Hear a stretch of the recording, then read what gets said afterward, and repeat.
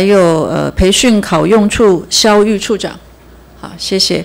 还有呃给付福利处陈坤玉处长，好，以及人事资讯处副处长庄素仪，好，谢谢。再来介绍全序部次长林文灿，好，次长谢谢。再来介绍内政部邱昌玉次长，好，次长谢谢。再来介绍人事处的甘文处长。好，谢谢，以及经济部人事处处长陈荣顺，好，谢谢，以及交通部主任秘书郑次荣，好，谢谢，人事处专门委员冯淑珍，好，以及行政院农委会副主任委员黄金城，好，还有人事室的主任李李花书，好，呃，大陆呃大陆委员会的副主委邱垂正。好，谢谢。还有人事室的主任林翠玲，好，行政院原子原子能委员会副主委黄庆东，好，谢谢。以及行政院海岸巡防署的副署长胡义刚，好，谢谢。还有人事处的王德云处长，好，再来是行政院环保署副署长张詹顺贵，好，谢谢。还有人事室的检任视察郑琼华。好，再来是蒙藏委员会主任秘书陈明文陈明仁啊，抱歉，谢谢。还有行政院主计总处公务预算处的专门委员曾焕栋。好，以上是出席的人员哈。好，那我们今天排定的议程呢，是邀请行政院秘书长以及行政院的人事行政总处啊人事长列席啊。那么就我们政府组织改造的工程以及三级机关财政务常务任用双轨制的具体的规划来进行专案报告，并被质询啊。那另外我们邀请了全序部的次长、内政部次长、经济部次长、交通部次长、行政院农委会副主委、行政院大陆委员会副主委以及原子能委员会的副主委，还有我们海岸巡防署的。副署长啊，环保署副署长蒙藏的主呃主任秘书哈，就我们主管业务来列席备询呢。那现在我们先请进行。好，那我们先是不是先先确认一下我们刚刚啊我们在上次的一个议事录，我们请教我们委员会的委员有没有对于针对上次议事录的呃会议记录有没有意见？没有的话，我们就先确认议事录哈。那我们现在就进行报告。我们先邀请行政院的陈秘书长上台报告，谢谢。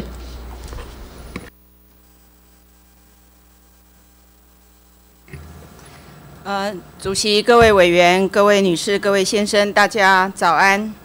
呃，行政院为了有效的提升政府组织的运作跟行政的效能，从民国一百零一年开始，逐步启动了组织改。造的作业，截至目前为止，已经有二十三个部会以及所属的九十六项的法案完成了立法。由于持续推动主改有它的必要性，所以从五二零之后，本院也重新的在检视相关的主改的一个进度。针对还没有完成组织调整的部会呢，我们依据跟其他部会间的关联性较小，而且共识性高。以及展现精简政府组织的意涵，或者是具有急迫性或前瞻性，且较少涉及跨部会的基本原则下，先行做调整。至于如果这一个机关的组织的设计跟业务执掌比较复杂，而且社会各界对于它业务的归属仍然有不同想法的部分呢，本院将持续的继续沟通跟协调。并且适时的规划以及提出组织的调整案，来促进主改作业能够完全的顺利完成。另外，为了要增加中央政府三级机关首长用人的调弹性，有效的活化人才的禁用管道，本院人事行政总处已经在开始严厉修正中央行政组机关组织基准法的规定。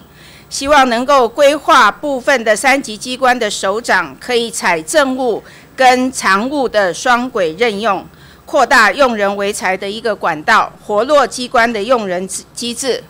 当然，也为了避免影响常常任文官的升迁以及士气，也会将明定三级机关的首长可以列为政务职的一个总额的上限。来兼顾常任文官的基本权益以及他发展的一个机会。上述这样的一个修正的呃方向跟规划，目的是为了要让政府能够灵活的用人，以及国家的政务推动更为顺利。敬请各位委员能予以指教，谢谢。好，谢谢陈秘书长。那接着邀请行政院人事行政总处的施人事长报告。呃，主席、各位委员，呃，大家早安。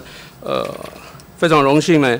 呃，应委员会的邀请，就两个重要的事情呢，跟委员做一个报告。我想第一件事情是来跟委员报告有关呢政行政院未来的组织改造大概的一些想法。另外一个就是呢，呃，行政院各部会所属的三级机关呢，未来呢有规划想要采政务跟常务双轨制。那我们大概为什么想要这样做？还有准备怎么做了一些一些报告。那我就这两个部分呢，分别跟呃跟委员会做报告。第一个有关行政院组织改造的一个规划，我想这个事情。呢，其实已经做了非常非常久了。那终于在民国九十九年的时候通过了行政院组织法。那实际上的作业呢，大概是从民国一百零一年呢一月开始呢，我们就呃那时候的行政院也送进了各个部会的组织法。那我们也非常感谢呢立法院呢，在过去这几年间呢，呃逐一的审议。那到目前为止呢。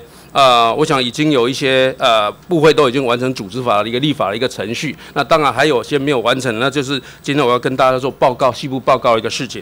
那首先报告的是，呃，目前呢，呃，根据行政院组织法，我们应该有二十九个部会，那目前呢已经完成了二十三个部会跟所属的九十六个法案的一个审议，那当然。剩下就还有一些部会没有审议。那刚刚呃秘书长也大概提过，我们行政院呢呃在五二零以后呢，大概采取一个原则，就是呃要要做分阶段立法，那啊务实来推动这样一个一个事情啊。那目前还没有完成立法的部会有立呃内政部、经济及能源部、交通及建设部、农业部。呃环境资源部跟大陆委员会，那总共呢有六个部会。那如果按照原来的规划呢，六个部会下面还有四十四个所属的三级机关的一个法案还没有完成审议。那当然呢，呃呃，海洋委员会本来已经经过审议，不过后来呢，要包括立法院做出一个决议啊，要我们暂缓。所以这个部分呢，我想我们也会并同来做一些讨论。那接下来行政要做的一个方式就是呢，采取分阶段推动的一个规划。那我们预计呢分两个阶段。啊第一个阶段呢，我们采取了几个原则，挑一些跟这个原则相关的部会或者机关呢，先进行呃推动主改。那刚刚秘书长也大概提过，这原则包括跟其他部会间关联性较小，而且共识性高。啊，第二件事情呢，如果可以展现我们整个精简政府组织意涵。啊，第三个原则是具有急迫性或前瞻性，而且呃较少涉及跨部会的。所以根据这些原则呢，目前呢，呃，我们就有一些。呃呃，机关呢大概会列入到第一阶段的一个主管，这里面包括陆委会，比如像说交通部下面的几个呃机关，那当然也包括呢呃行政院环保署呢，因为因政策上的需要呢，急需要设立一个毒毒物及化学物质局，那我们认为经济及能源部呢也可以适合呢来推在先优先推动，那那最后呢当然会并统的蒙藏委员会呢也会跟着做裁测，那这是我们第一阶段大概规划了主要的内容。那当然，第二阶段呢，还有一些部呢没有在第一阶段进来。那这些部，比如说交通部、农业部、环资部、内政部跟海委会，那这些这些部其实它业务跟执掌的范围真的比较复杂一点，而且呃外界也有一些不同的想法，包括我们内部呢，呃不同机关之间还是有一些呃事情，大家再做一次呃沟通协调，所以我们大概会继续来努力做这个事情。不过我们自己设定大概希望在明年底以前呢。这个还是要一个一个一个大致上的方向出来啊，甚至把法案就送到这个立法院来请这个大院来做审查。那目前呢，呃，我们就第一阶段已经在做了一些事情呢，啊，我们大概内部已经发文啊，事实上也各部委开始在做这些协助哈，包括呃陆委会、经济部，事实上呢，这个部分呢，事实上他们都已经在在做一些考量跟这个这个协助，继续要进行。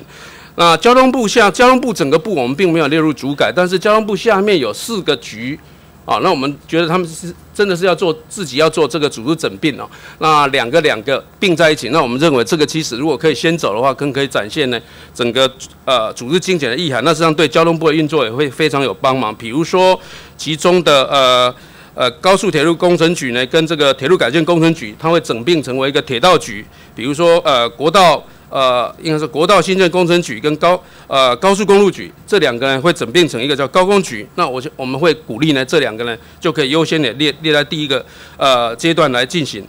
那刚新设了一个呃，应该是呃环保署的这个化学局。那这个事实上是为了配合石安的源头管理。那我们认为呢有必要先。呃，先行设立这一个化学局。那当然，我目前这个化学主要是引用这个基准法的这个三十六条规定，先以暂行组织规程先成立化学局。不过后续呢，我们会会来做这方面的一个立法。这主要是为了要国人很重视的这个食安管理的源头管理一个一个工作。那最后，蒙藏委员会呢，呃，我想这个在本来的行政组织法就已经就已经提到，民藏委员会将不再存在。那只是说未来业务应该要到哪里去？那这个我们行政院的态度是，我们会根据蒙藏委员会的现在的业务，看它适合到哪一个部会去，我们就啊带移到那一个部会去。我想这是我们未来在处理这个蒙藏委员会的一个一个规划的一个原则，大的方向是这样子。那这是有关第一个部分呢，跟呃委员会报告有关我们未来这个行政院主改的大致上的一个方向。那第二个报告是有关的，这个委员会要求我来做做说明的是，三级机关要采取常务跟政务双轨任用这个一个构想跟规划。那我先打大概先先说明说为什么会有这个想法。那这个其实跟跟台湾的整个行政部门运作是非常息息相关的，因为我们的中央政府的多数的部会，其实它设了非常多三级机关，那有很多的三级机关呢，事实上有庞大的预算跟人力。甚至三级机关也负责很重要的政策跟法规作用法的研拟，比如说有非常多的三级机关，它的预算呢，可能动辄都是年度预算都是二十几亿以上，甚至有三级机关主管上百亿的预算。那我想这是我们实务上运作几十年来就是这样一个运作。那我想以这个角度来讲，只是要要要说明一件事情：中央政府的部会的三级机关在行政院的角色是非常非常重要的。因为它肩负落实总统、院长跟部会的施政理念的责任，所以呢，三级机关怎么样让它有一个比较好的运作，跟行政院的关系或者跟部会关系比较好，其实这个是我觉得这个是一个不管哪一个政党执政，他必须要去正式面对一个制度面、制度面的一个一个现实。那正因为部分的三级机关肩负政策角色，他的首长呢，如果可以有机会是政务职。他就会受到部长的直接的政务指挥跟政治责任的监督，这可以彰显民主的责任政治的需求。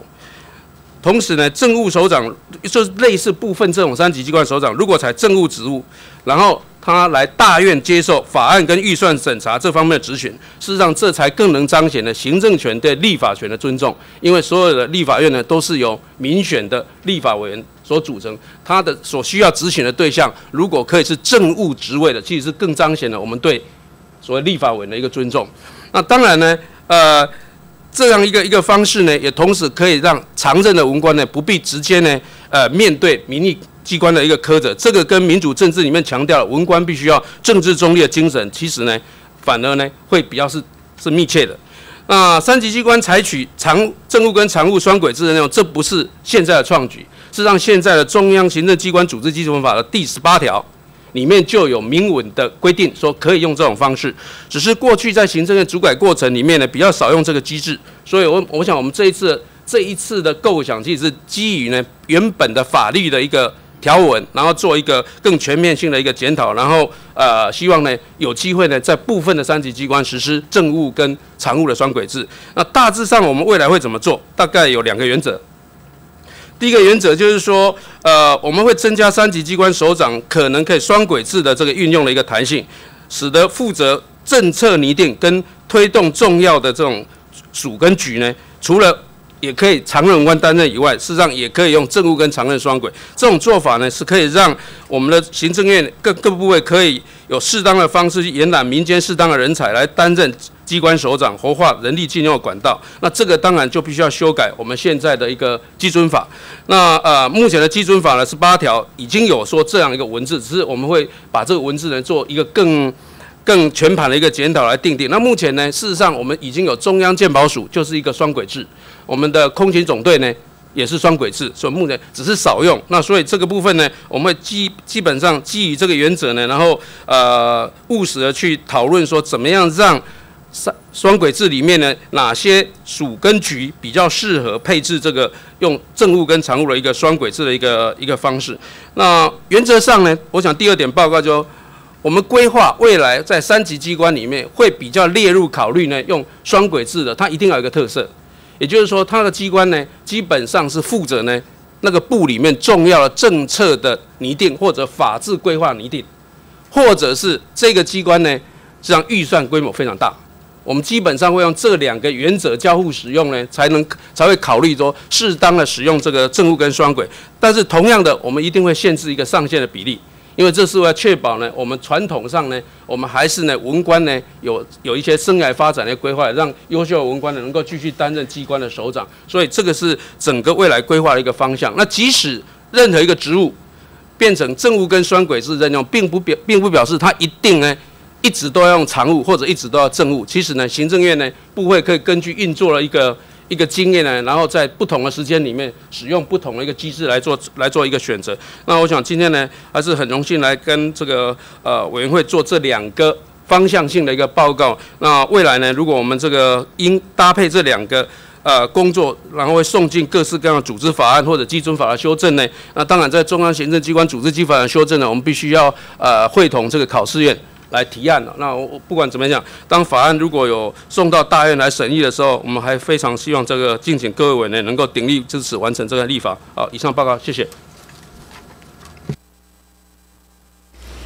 好，谢谢施任市长。那么请教一下，我们各单位有没有补充报告的？好，如果没有的话，我们陆委会也有提供一份书面的资料，我们请委员参考哈。那我们呃现在呢就进行呃等一下，好，我们现在的这个现在进行询答哈，每位委员的发言时间有八分钟，那必要我们可以延长两分钟。那上午我们十点半就截止登记发言，呃，我们先请登记第一位的段宜康委员发言。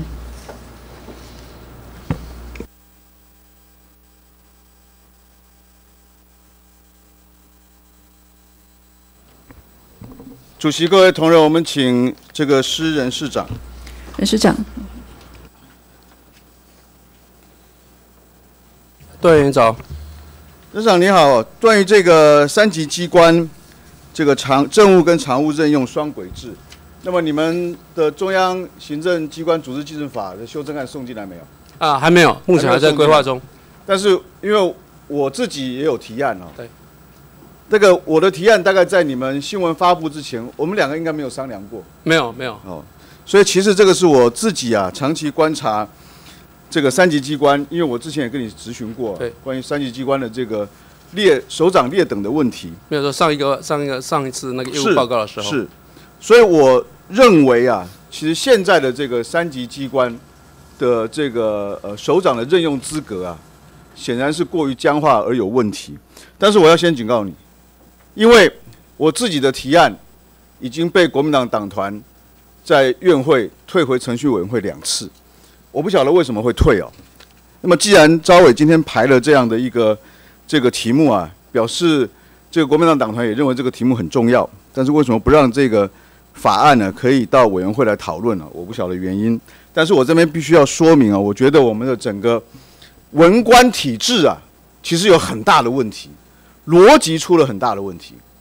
我给其实过去啊的国民党政府也认为，现有的三级机关首长的任用其实是这个限制啊，其实是过多。我举个例子好了，我们在上一届啊有一个这个法案是关把营建署啊要改制啊，就是主改，要改成国土管理署啊。但是呢，因为主改没有过，在国土管理署的署长。的任用资格第三条，本署至署长一人啊，职务比照检任十三职等或列十三职等，这个就是双轨任用。那营建署为什么就即便改成叫做国土管理署啊，它的业务看起来好像比较多，但实际上还是在做营建署的这个这个业务。其实你看，我们所有的三级机关，我如果把它照一百零五年的预算规模来照排列的话，你会发现，其实他们的业务繁简差的非常的多之外，他们所能够控制的预算或者分配的预算，其实有的是非常之庞大。你譬如说，营建署啊，一百零五年两百五十亿，可是比营建署预算还要多的，还有其他的三级机关呢。你譬如说这个公路总局，哦，超有到五百亿的规模，或者即便预算不一定那么多，但是它的政策性质其实是非常的强。譬如说，我们看水利署，还有一百五十亿的预算，我们也知道水利署其实这个预算其实牵涉到非常非常多的资源分配，所以它这个署长他其实包括了他在做分配的功能，跟他在参与制定政策的时候，他有相当的决定权。这点上，其实他们应该要给他们有政务任用的空间。我相信这点您是同意的，所以你们会对外宣布啊，要往这个方向去推动。但是我必须在那边提醒你，除了这些三级机关之外，我们来检讨现在的文官的这个这个任用的制度啊。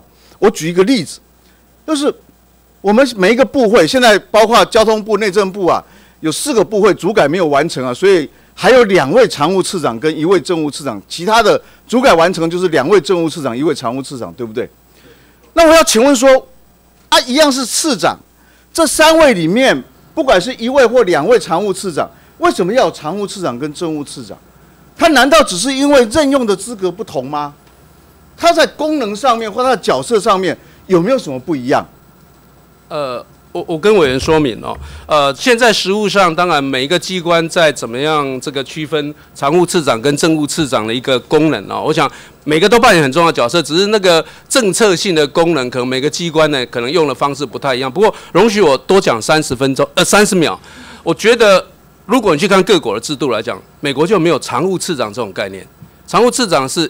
典型的议会内阁制下面的一个英国设计的一个基准，所以我我觉得我还是今天如果有机会，等一下有机会，我我想跟我们报告这个事情，就是说我们在推动这种三级机关这种概念的时候，其实它上位还是跟我们的政府体制呢不能够完全脱钩的。是，其实我给大家看一个表啊，你可以啊，这个哦没关系，我没有做出来，我我我大概简单的跟您讲啊，譬如说我们用。好，譬如说我们用这个几个单位，卫福部好了，因为卫福部的功能，这个业务非常的多。卫福部的次长，好，何启功跟吕宝进两位政务次长，蔡生田是常务次长，他们怎么分工呢？你看，何启功负责食安，吕宝进负责长照，然后蔡生田负责医疗。那你从他们负责业务，你看不出为什么医疗就必须是常务次长负责？然后为什么实安是长照，跟是政务次长负责？比如你看教育部，为什么陈良基这位政务次长他要负责高等教育？然后我们看最底下的这个林腾蛟，他要负责国民跟学前教育。国民教育跟学前教育是什么道理呢？是比较基层的，年纪比较小的由常务次长负责吗？我相信大概不是这样。那你的逻辑是什么呢？我们看交通部，两位一位政务次长负责轨道，呃，轨道。负责轨道跟邮电，那常务市长其他是常务市长负责，那为什么呢？观光的政务性质不够，政策性质不够强吗？道理是什么？有可能是每一个部长他看他手是手底下的次长的专长，或者大家业务平均分配一下。那这个常务次长这个常务，我为什么要有一个次长是常务的？如果说我们要用英国的那一套的话。我们其他的文官的逻辑也没有配合啊！我们如果要美国的那一套的话，我们所有的次长都应该是政务，对不对？连我们的三级机关首长，其实也都是政务任用。嗯，在美国几乎都是这样。都是这样。对。那我们的文官逻辑到底是什么？我们传统上都说英国的文官制度做最最健全，可是英国的文官制度这几百两百年来修大改过多少次，对不对？我相信您非常清楚。然后呢，我们的错逻辑错乱，就是我们现在有一个或两个常务次长，次长也有常务也有政务，但除了他们的任用资格之后，我们完全看不出来，英国的常任文官是不可以转任政务官的，对不对？呃，我的了解，他们是非常分立的。对，对，他不可以去说我常务次长做一做，然后我去当政务次长，然后我去当部长。可在台湾认为这是一个官员升迁的正常管道，他为什么要这样子去分？要为为要这样子去分立呢？因为要确保文官的中立，然后确保文官不用去替政党服务，你才能够升迁。可我们的逻辑不是这样，我们的叫做征拔人才的管道其实非常的混乱，我们没有一个分际。我们的常任文官他不用卸任，他他可能办了退休，他年纪到了就办了退休，办退休他没有防火墙啊。我们即便他办了退休，他不再是常任文官，我们至少要有个防火墙。你要一年、两年、三年之后，你才能再出任政务官，或者另外一个问题就是公务员参选。上一次卫福部那一位署长邱淑媞，我质疑他说公务员为什么为什么可以参选？他说这个法律保障，那是法律出问题呀。公务员如果可以参选的话，各位可以想象，部这个这个这个部长也可以想象，假设有一个县市的农业局的一位科长，他如果要去选举的话，他即便我们现在规定是他要请假，他请假请多久呢？也没有人知道，他也没有规定说你要离职一年，他没有规定说你必须要辞职，我请假就好了。我请假没有选上，我回来继续当我的科长，然后我下次可能要再选。然后我在做这个科长的职务的时候，我的脑袋里面会不会想到我自己的选举？这莫名其妙嘛！很多国家规定文官不得参选，或者至少是哪一些选举的项目他不能参选，他有他的道理。可是我们刚好背背道这个反其道而行，我保障文官参选的权利，还规定。这个行政中立法还规定说，他的上级长官不可以不准假。这个逻辑就是我必须要保护你，我确保你可以参选。我们为什么要确保文官可以参选？文官本来就不应该参选。文官既然要行政中立，他连助选都不可以，他为什么可以参选？这逻辑就是混乱啊！所以我们的整个的人事，我们的文官制度的混乱，就是我们东拿一点，西拿一点，然后自己想象一点，然后凑在一起。您既然当了人事长，您就应该就我们所有的文官制度的逻辑，要把它一致，应该要整合。所以在这边呢，要请人事长，我们不光是主改，不光是三级首长的任用，我们希望你能够提出一套我们文官制度有一致性的逻辑制度，好不好？好，呃，跟委员报告，我想虽然委员谈了很多制度本身的主管机关在考试院，不过我想台湾其实是在一个民主转型过程里面，我们整个人事制度包括文官制度，必须要清楚的跟着做一些应该有的一个配套的一个转型。我非常同意这种看法。不过，呃，这部分主管机关是考试院，我们不敢期待考试院，我们希望行政院能够有担当，能够提出改革的方向，好不好？谢谢。好，谢谢段委员。呃，我们接着邀请柯建明委员发言。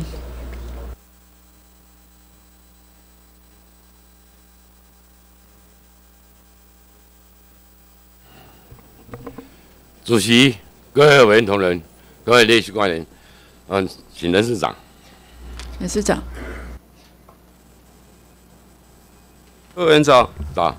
嗯，今天有两个人，我觉得这里还是要以肯定的。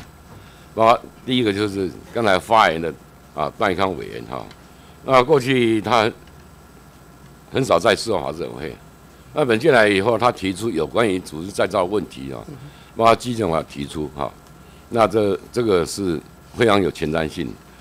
另外一个当然再一张挑战执政党天经地义，当然我们希望把话说清楚，所以今天有这个机会，其实法委员排这个排这个备询，我们是肯定的。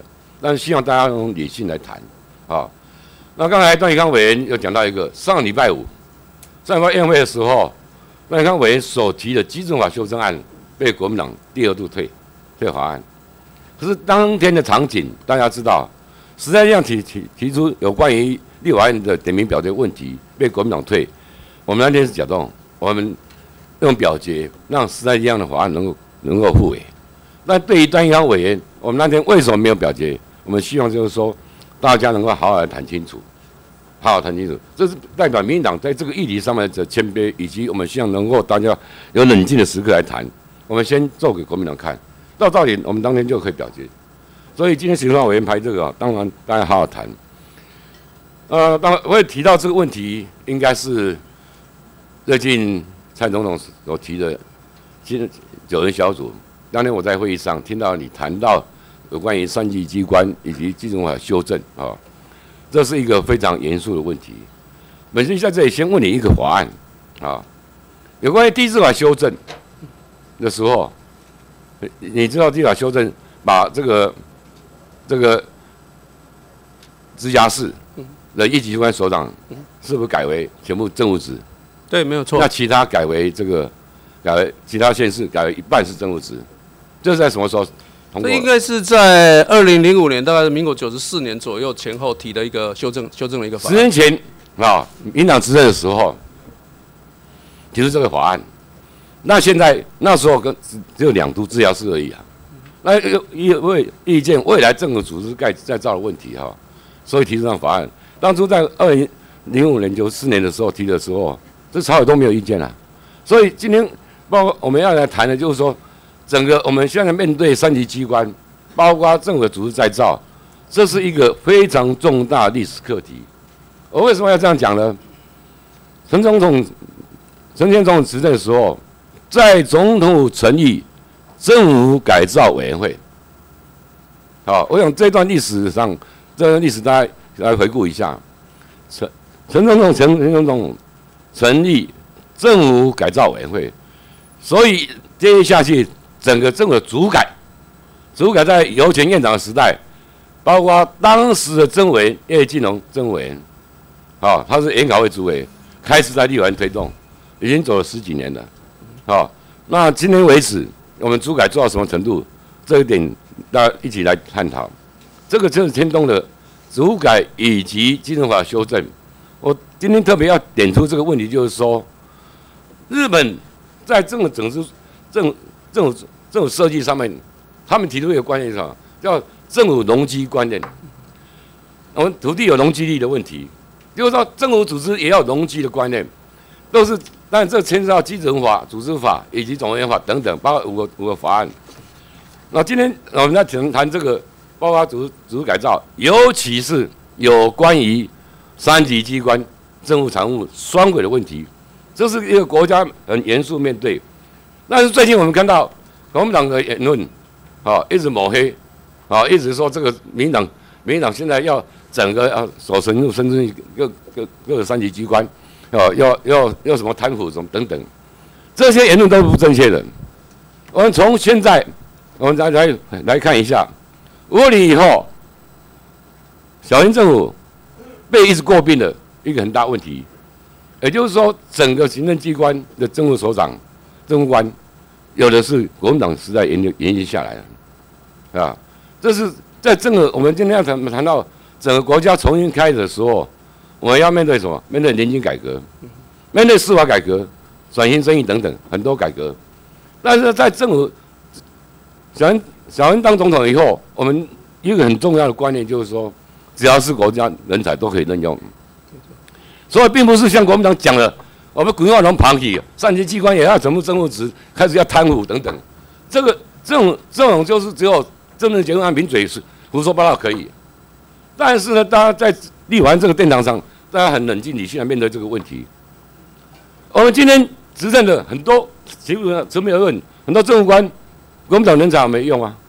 那很多部会，很多很多很多该改的，包括国营事业，包括很多单位，可以换人都没没有换，能够用的都是国家人才，所以不可能说为了文化从旁来，两家三级机关，好，我们就要开始乱搞，这是一个很严肃的组织再造。但是我今天要在这里从特别提到一点，政府的组织再造包括什么呢？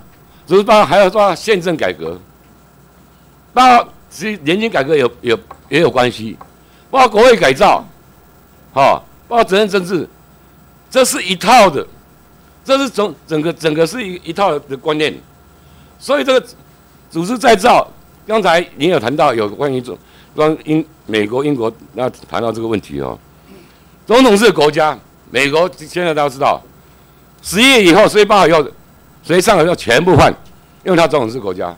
今天是中央政府体制的问题嘛？今天中我们中央政府体制这所谓双总统制，到底是内阁总还是总统制，大家一直没有定位。所以上礼拜大法官同意前行使的时候，黄兆元准大法官他被提名人，他谈到一个现任进行性的进行性进行性的那个所谓这个这个发展中的好发展中的现任管理，事实上就是这个观念。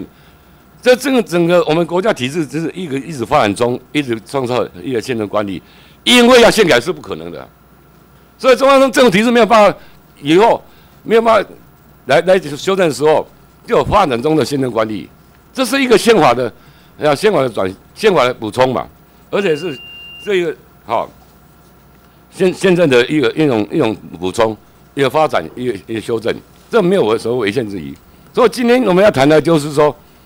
持平论这个问题，要从没有错，从中央政府体制开始谈。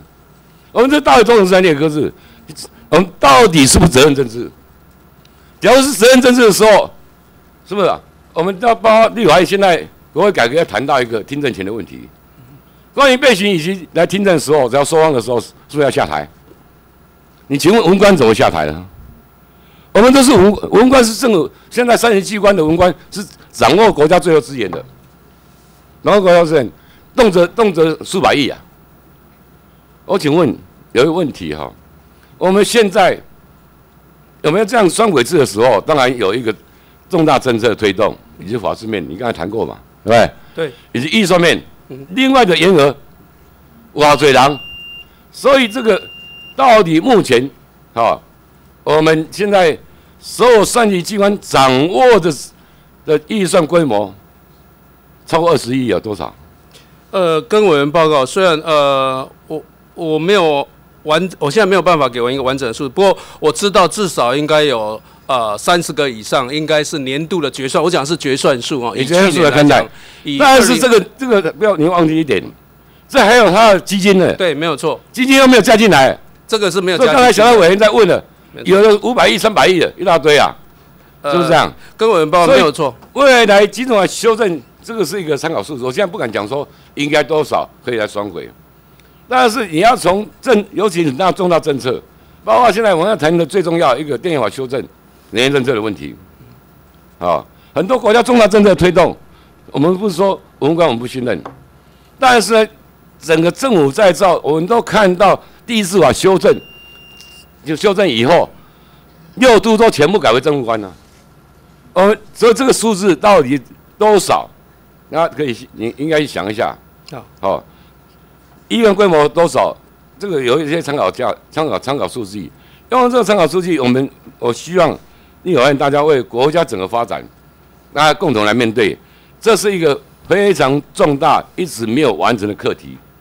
当然，刘贤院长的时候，政府组组织再造，国民党是怎么临时民进党？可能你你后来也当了研考会主委。那么有一天，我看到已经在里面协商到最后协商十二个钟头，还是没有办法完成。我看到江那时候江江有江玉华主委、严华主委很失望的离开立法院背影。坦白那一刻已经到晚深夜十二点多，我眼泪看也差点掉下来。那是在正大家为国家努力，但是朝小也大的时代，我们一直一直没有办法完成。国民党当初是下我们要剩下二十二个部会。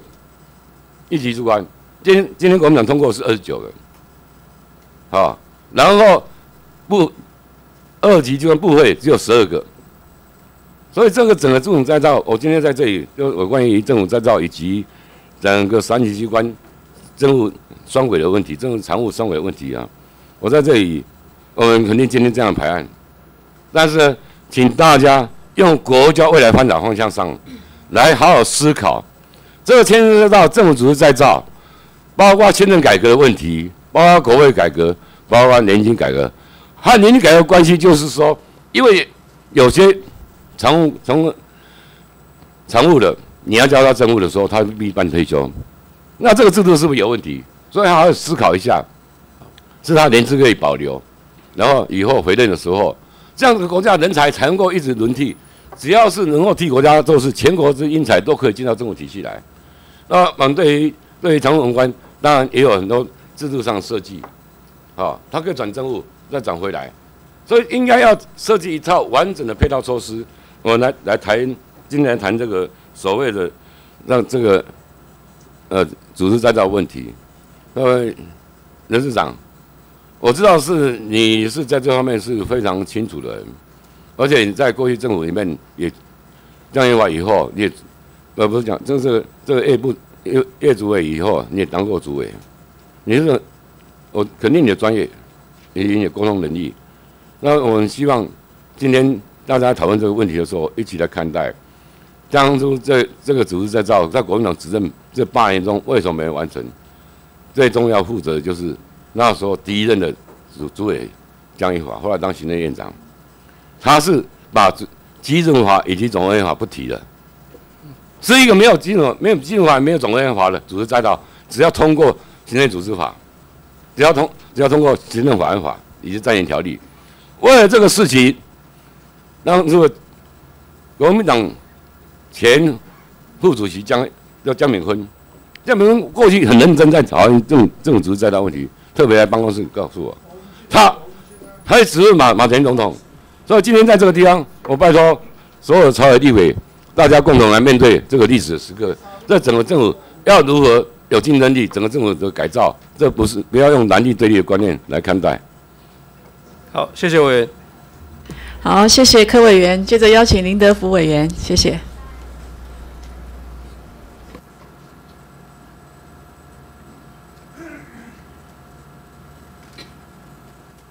啊，主席。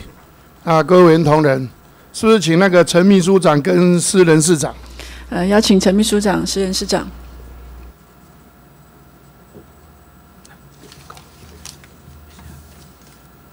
啊，秘书长，我请教你哈，我想第二次执政决策协调会议，那蔡总统啊确认行政院的提议，未来中央政府的三级机关首长未必都由。文官来出任，好，那请问这项提议的定案是不是直接冲击到常任文官未来升迁的这个速度？呃，我想这个是让政府用人更具有弹性哦，应该不是说对文官的升迁产生一定的。因为哈，那个秘书长，升迁管道管道变成缩小，那依现况来看，是不是也打击到整个公务人员呃的士气？依您看，呃，我自己过去也是文官啊，啊，我所以，我其实认为，呃，其实同仁在每一个位置上能够尽他的所能，发挥他的所长，我相信大家都会有机会的。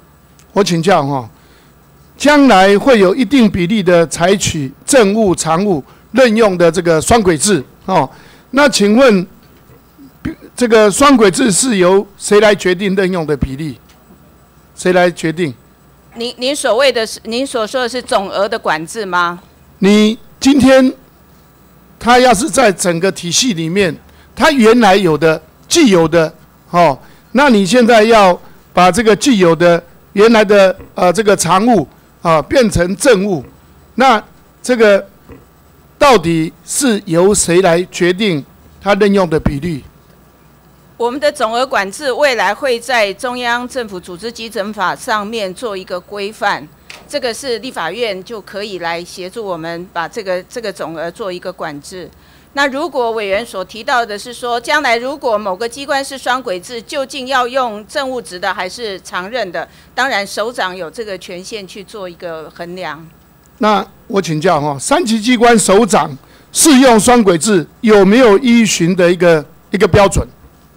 好，这个可不可以请人事长跟您做他整个规划？好，跟委员报告，我想我们目前呃的规划方向是以，如果这个机关负责的政策角色比较重，或者是它的预算规模呢，年度预算规模大，这些才会列入我们考虑的那个标准之一。那我请教哈，这个到底是依首长的喜好，还是依专业来评定？这个不可能是是是喜好的问题，这当然是一个以那个职位的功能性上去做一个考量。那需不需要做一些笔试、面试啊？会不会有没有必要？呃 跟委员报告，我想这是一个高阶的这个机关首长，所以说都不必。到我想不是因为说你去笔试就是一个最好的方式，当然我们会综合考量他过去的经验啊，还有资历啊，这些可能比那个笔试还更能够了解这一个人过去的一个表现。那我再进一步请教，要是有酒驾记录的，有酒驾记录的，会不会呃作为是否任用的考虑？呃，跟委员报告，因为目前我们还没有。啊，进入到这么细部的一个对啊，将来因为你有这种想法，委员委员这种指教呢，我想啊，我当然要问啊，我想委员这种指教我们会纳入考虑，对不对？对对。哦，你不要说把酒驾将来也纳进去，我现在不是说赞成或者反对，我知道。哦，但是我认为说，像有这种考虑，当然你们就要这个要去审慎的去去探讨。那秘书长，我再请教，法务部底下的三级机关有调查局，有人。有这个廉政署，有执行署、矫正署，啊啊，这个最高还有台高检等等，你认为适用双轨，呃，这个这样的呃这个任用，你认为可行吗？呃，我想人事人事总处之前大概已经提了哈，如果是属于那种所谓的执法的机关的部分，原则上是比较不适合用双轨制的，嘿。就是我想跟委员报告，虽然我刚刚讲了两个大大原则跟政策政策角色跟预算，不过我们也呃务实的去了解台湾整个政府运作跟社会上的一些看法，所以目前如果是偏执法部门的，我们会比较不把它列入这种将来的调查局这个部分还是要个案讨论啦，对不对？将调查局、廉政署、执行署、矫正署，包括最高最高检，包括台高检。哦，这些将来是应该不必纳进纳进。不检查系统是 应该是绝对不会纳进来的，因为本来就有一套机制在处理。好，我想哦，这个我一直认为说，其实现阶段啊，这个这个政务官异动频繁是常态。那你认为人事任用上，难道你认为会不会有问题啊？因为政务有时候也一直在更替啊。呃，跟委包，我想政务政务官的一个来来去去，本来就是民主政治的一个常态。不过，我想呃，任何一个执政的政府一定会尽最大的这个努力，跟从社会多元的角度呢，去寻找这个适任的人人力。那你认为这个双轨制对现有的这些文官体制，到底是你认为是改善还是破坏？你看，我我想。可能这不是选择题的问题啦，我们只是根据一个政府运作的需要，选定适当的这个机关做双轨制。那双轨制并不表示说一定要用哪哪一轨，事实上它才是一个动态的一个一个调整过程。那秘书长，因为新政府提出的三级首长采双轨制，可以强化机关的专业，来活化人才进用的管道，让政府可以引进更多外部的人才。那请问这些人才比例？外补制度难道你认为都没有缺点吗？您您所指的是文官的外补制度吗？对，人才比人人才才比例这个外补制度，那你认为这些都没有缺点吗？不是，呃，要是沦为抽用式的哦，或私人扩权哦，那就会不会变成呃这个到最后变成好像有一点这个哗众取宠？会不会变成这种状况？我跟我跟委员报告，其实刚刚呃，人事长在报告已经谈到，其实，在中央组织基准法在十年前，其实这个就已经有这样的机制了。所以，我们应该正面去看待这样子的一个政府用人不要这么僵化的一个制度，让它能够往好的正面的方向去做、去推动跟运作。那个秘书长，是因为行政院建议有关人才禁用的制度，重点应该在强化政府的专业。哦，那如果限制由文官来担任，无法让外界具具有实务经验和创新思维的这些专业人才，哦，那进到政府的体系当中来服务，那请问哪些是有能够在政府专业的这个实务经验经验上，哦，那和创新思维的去发挥，你认为呢？因为目前我们也有相呃，也有两个三级机关的首长已经是一个政务职的任用，我想大家也可以去评估一下，其实这样的一个方式、一个方向是对的。那你认为，要是说这种方向，民意代表，例如立委啊、议员啊，是不是适合呃的一些人才的一些选项？我想，只要是政务职各方的人才，我想从专业的考量或者他自己的一个过去的呃经验，如果是很合适的话，用人为才是没有至于限制的。那个秘书长，因为政府组织在改造，确认行政院提出的这个两阶段主改的规划，那第一阶段是处理啊这个共识性的较高的部分，其余的这个部会。呃，这个主改的工作则列入第二阶段来办理。那请问，因为阻力大，那主改会不会变成半调子的一个主改？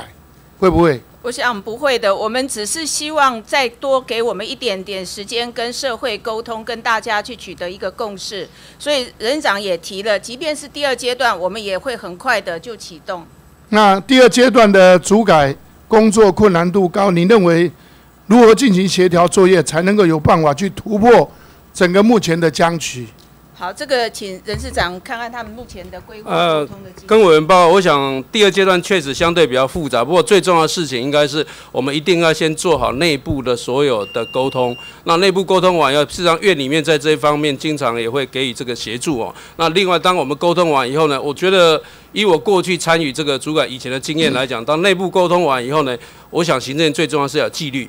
我想，当法案一旦送出，那我们内部沟通完，还是会跟外部做应该有一些沟通。当我们法案送到行政院以后呢，哦，送到对不起，送到立法院以后呢，我们行政院所有的部会就必须跟着这个法案呢来进行了。我想，这个是呃过去我认为呢很重要一个怎么样完成立法机制一个很重要一个一个一个元素。我在请教哦，我想林权院长在总咨询的时候说，海洋委员会有重新检讨的必要。那成立时程会往后来拖延。至于说环境资源部的成立涉及其他部会业务，这个移拨的部分，哈，比较复杂，哦，那两者尚未在立即要调整的工作表上面。那请问，除了这两个部位不在工作表上，你认为有哪些部位可以立即来做一些调整？报告，我们在第一阶段就提到，譬如像说大陆委员会就可以呃马上走，然后我们也可以裁撤这个蒙藏委员会。那我们认为经济及能源部呢，大致上跟其他部会的关联性呢比较小，共识也高，所以类似这些单位呢，这些部会我们都会列入了第一阶段优先来呃推动的一个一个名单。那你认为第二阶段原先存在这个主改争议的部这些部会机关要怎么去呃做沟通去平息？呃，我想并不是所有的问题要重新来啦，就是说里面每一个部会之间还涉及到某些最重要少数几点的一个关键点，我们要逐一来跟各个部会呢内部做沟通，也跟外界的一些团体一些意见跟想法做完沟通。那我想这个我们一定会努力来完成这个事情。好，谢谢。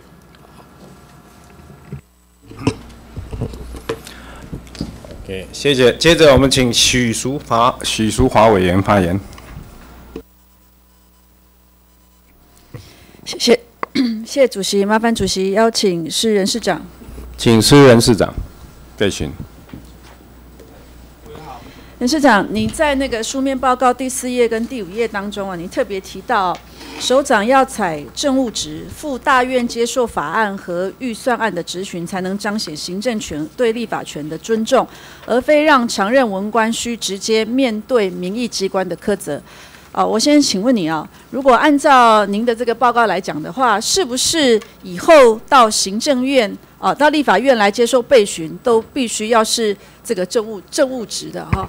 这一点，我想我想要请教你，而且哈，还是不能请假才能够表现出我们呃这个行政体系对立法院的一个职责来。我先请教你。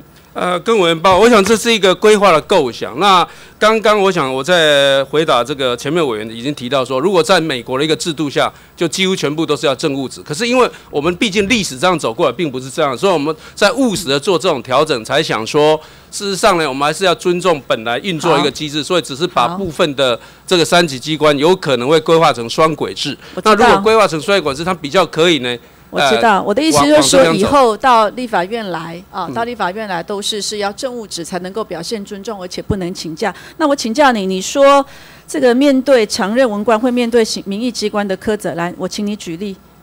我我想这里意思就是说，任何一个啊机关首长到到立法院来做备询，他当然必须要接受立法部门的质询跟苛责，那本意就是这样一个意思。只是说我们过去传统上就是由文官来担任嘛。那我请教啊，比方说中央气象局的局长。好，这是最容易受到民意机关所苛责的，算不算啊？比方说，这个哪一天我们首长决定要不要放半天、放全天，那么结果呢？这个放假之后导致很多的民怨，那么怪了我们中央气象局的局长。那如果是这样的话，这样中央中央气象局的局长是不是未来要改改做任务官会比较好？呃，我想每一个个案呢，我跟委员报告，我们目前还没有进入到个案的一个讨论。那个大的原则就按照你的理论啦，你的逻辑啊，你这样的报告啊。呃，我还是要回去看他到底他，我知道中央气象局预算其实呃有一定程度的一个预算。这是你的报告啦，没错。你今天的报告是讲说，为了避免这些。这些文官嘛，常任文官面对民意机关的苛责嘛，那当然嘛，政治的任用当然有他政治的责任嘛。那按照你这个逻辑来讲，我有点不清楚，就是我不晓得这个这个专案专题报告是谁帮你拟的啊？听起来都有点怪怪的。好了，那不重要。我现在要问你的是说啊，你是什么时候知道要采取这个双轨并用的？就是蔡英文总统呢，在第二次的这个这个汇报当中决定了嘛？那您是什么时候得知的？你是事先就得知的，有在参与，跟蔡总统有在研究要改成双轨制，决定要排版定案，或者是你是当天参加会议的时候，蔡总统告诉你决定要采取这样的双轨任用？没有跟委员报告。我想我在这个新政府上台以前呢，其实就因为我在学校教书啊，那这个是长期的一个一个研究啊。那事实上在过去有一些过程里面也也跟当初的民进党的一个智库提过我是说现在你是什么时候知道的啦？你之前就有在规划了嘛？但是你从蔡总统拍板定案，你是什么时候知道？是当天参加会议知道的，还是你先前就已经有跟蔡总统就这个双轨的制度就在讨论？没有，这是行政院当之前就应该跟总统有过一些一些互动跟讨论。那我想，我我行政院要求我做这样一个一个一个说明，所以我们就去会议里面。你什么时候知道的啦？我现在不是讲行政院，你当天的会议你有参加对不对？对，我去做报告。好，那你是之前行政院就告诉你了，我们有这样的计划，请你来一起来协助，又或者是你是当天被通知的这个会议会议当中，你知道最后要排版定案要做成双轨制。没有，这行政院之前就就跟我谈过这个事情。好，所以你之前也就知道，所以代表说，其实在这过程当中，你也提供了很多的意见给蔡总统来做一个参考，对不对？是是不是这样？没有，我想我我我是代表这个院长要我来先做这样的规划，那我事先都有在行政院跟院长这边做过报告。那那一天的会议呢，是我我等于是行政院要求我去做。在会场上做一个说明。嗯，好，因为我看到你们呃，蔡总统十一月十十号、十一号定案之后，你十三号啊，人事总处就发了一个新闻稿，你有提特别提到，为免其专业因面对政治干扰而受影响，部分三三级机关以政务任用是有必要性的哈。那我现在不懂啊，三级机关改成政务任用，难道就不会被政治干扰了吗？哦，到底到底这个政治干扰哈？我们都知道政治责任，他既然是用政政务官来来任用的话，他相对一定有他的责任，但是未必跟文官体制哦，就是改成这样，到底哪一个受政治影响干扰的比较多哦？所以我也不晓得为什么你会提出这样的看法哈。那我我我想你特别，你过去呢，你在这个对于。行政的部门，特别你也是专家学者，对这方面的研究，其实我们就是希望政治跟行政分立嘛，哈，所以我们都希望说排除政治对行政的干扰，哈，这个我我希望我们也是国家常态以来为我们文官培育出来的很好的一个机制嘛，哈。那现在呢，我们资深的文官其实他是除了作为决策权的这种三级机关的备用之外，其实你也特别提到要强化专业，才用做政治任用，但是它其实会凸显出来几个问题啦。第一就是说，难道我们台湾自己的资深资深的文官都不够专业吗？必须每一次都要仰赖其他对外的求财吗？哈，国家每年编列了这么多的钱，包括做了很多的文官的培训，甚至还到国外去去去参加各种的一些一些培这个研习的活动。那代表说，我们国家编列了这么多的钱，对我们整个文官的培养的体系。难道都是不够周全吗？那以后是不是这些钱都不应该再编列了？如果未来呢，我们都是要采取做做这个文官双轨制的任用的话，哈，那再来呢，就是说，是不是也凸显了现在难道是新政府会不会是因为现阶段？他的缺还不够用，他必须要来抢占文官的一个这个位置呢？我想就这两点呢，我希望给给这个主管机关也好好的来思考一下。既然政府花了这么多的钱，对文官的体制的培养确实也很不容易。刚刚有很多的委员提到，这未来会不会压缩到整个文官整个升迁的空间？哈，这个当然是这个这个见仁见智。但是毕竟我我觉得，既然国家花了这么多的钱，对文官的培训花了这么多的钱。未来应该要从，如果说我们的人才的培育当中，哦，如果是不够周全的话，应该是从文官培育的体制当中去着手，而不是哦，就是说所有的一个新的政府上台之后，他任意的去改变所有的任用的机制，这样的话反而没有办法让我们的整个文官的体制可以比较稳定啊，甚至会影响了我们文官的行政中立了哈。好，那来我最后再来问一个问题啊，就是有关于啊。那个任市长，我请教一下哦，中央行政机关组织基准法第二十八条的规定哈，是可以设这个任务编组的哈。那当然，机关也因为呃需有这个需求，其实可以设立这个临时性的任务编组是可以的。但是如果无止境的一直不断的在设立这些的任务型的组织哈，就会让人家诟病成为是一种黑机关哈。那所以呢，如果没有法制化的机关，你现在又编列预算的话。我觉得这个真的会让人家觉得说是不是黑机关林立了哈，所以你知道现在总统府跟行政院今年有设了几个重要的任务编组嘛哈？总统府底下有人权咨询委员会、国家年金改革委员会、原住民转型正义委员会、司法改革。我是筹备委员会、新南向办公室、国家安全会议、国家资通安全指导小组有六个任务编组。那每一个任务编组里头呢，大概有十到三十八个人。所有的经费呢，都是由总统府或者是行政院的相关部会来支应哈。那一百零六年的预算呢，有八百八十三万多哈。总统府一百零六年在国家发展研究局咨询的部分新增了四百零五万哈，就是要给这些单位的幕僚作业哦。这个出国考察、参与研究费等等的。那我请教一下，现在没有法制化的单位可以编列预算吗？其实现在都是拿很多单位的钱来做支应嘛，跟人员的调度都是如此。但是未来如果为法制化的机关，你现在一直不断的增加，是不是对我们现有的法制化的机关，它会是一个伤害？那另外呢，行政院底下又设了七个常设的任务编组，以及五十六个临时性的任务编组，每个人每一个编组都有几十人哈。一百零六年的相关的任务编组，至少的费用是一亿八千多万。那我请教人事长，可以设一个任务编组，然后来当一个任务编组的幕僚单位吗？比方说，行政院科技汇报办公室，好，就是行政院科技汇报及国家资讯通信发展推动小组，这是临时性，一个是常设性的幕僚单位。还有行政院的食品安全办公室，是行政院食品安全汇报的院内幕僚单位。好，行政院年金改革办公室是总统府国家年金改革委员会的幕僚单位。那另外呢，行政院国家资通安全汇报跟总统府的国家安全会议、国家资通安全组指导小组，这是跨部会的编组。但是这两个部会呢，其实。它的功能有没有雷同之处？这个秘书，这个这个人事长，你必须要去调查一下，跟了解一下。有很多的雷同的，你必须要把它稍微，你你包括你刚刚提到嘛，交通部的部分有几个要把它重新做一个整编嘛。那有一些是不是必须必须我们去考量有没有存存续的必要嘛？不需要的，事实上不需要浪费这么多的人力跟资源了哈。好，那我要简单那请人事长回答一下我刚刚讲的，可不可以设立一个任务编组来当另外一个任务编组的幕僚？单位，呃，跟我们报这个任务编组其实并不是一个常态性的一个单位，所以，呃，刚刚委员举的例子，我想那那个可能有点误解了。但是原则上，任务编组不应该啊，就是随便设立这个大原则，我们会努力来做。请教哈，任务编组有没有一个规定？就是你这既然是任务编组，有没有几年？你就必须得裁撤，有没这规定？原则上，任务编组本来就是一个不应该长久存在的，就是它有一个专案性，时间到应该就就裁撤。那因为目前我们有一个机制是叫常设性任务编组，也也纳入到任何机关的这个处。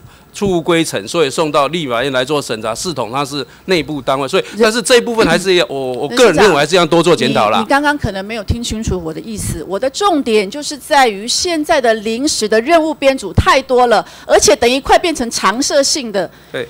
对不对？你现在你每一个，你刚刚讲嘛，本来临时性的就是还有它的任务才存在嘛，你的任务结束，你必须得裁撤。可是现在的临时的任务编组，事实上很多都时间超过很久了，那难道我们不需要去做一个整理吗？就是难我们。应该要给一些的期限嘛？你看，如果说你这个任务编组临时性的都已经是常态性的，而且还长期编经费跟人力在支持，那难道对一个？正常化的这个机关，难道不是一另外一种伤害吗？哈，这是我原来只要我们会努力要求部会来做这方检讨。好，我请那个人事长这边呢，就目前的临时性的任务编组跟常态型的任务编组，提供一个书面资料，让我们更加了解。那现在到底花了多少的经费在支持任务型，就是这种临时性的任务编组，好吗？好，一定好，谢谢，谢谢市长，谢谢主席。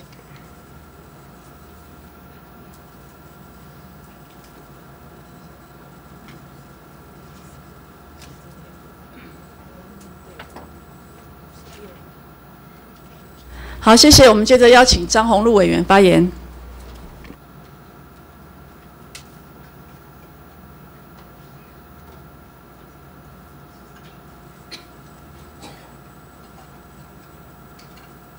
不好意思，我请任市长。委员早。可以。啊，任长你早哈。啊，我想要。先请教一下哈，既然我们今天呐，我们呐有牵扯，我们今天的报告有行政院的组织改造了哈，那您现在是担任我们这个啊推动小组的执行长嘛，对不对？那我觉得这个组织改造已经那么多年了啦，好，那到现在还有很多的部会啊，也都还没有一个定案哦。那我想请教一下哈，我们。这个我我要请问的是，我们行政院的整个的态度是什么？是要继续的强力的推动呢？那还是啊，就因为各部会有各部会有的有各同啊不同的想法，也有可能主观的意见，然后或者是实际上执行的有些困难度。那我们的态度是如何？跟委员报，我想行政组织法已经是一个法。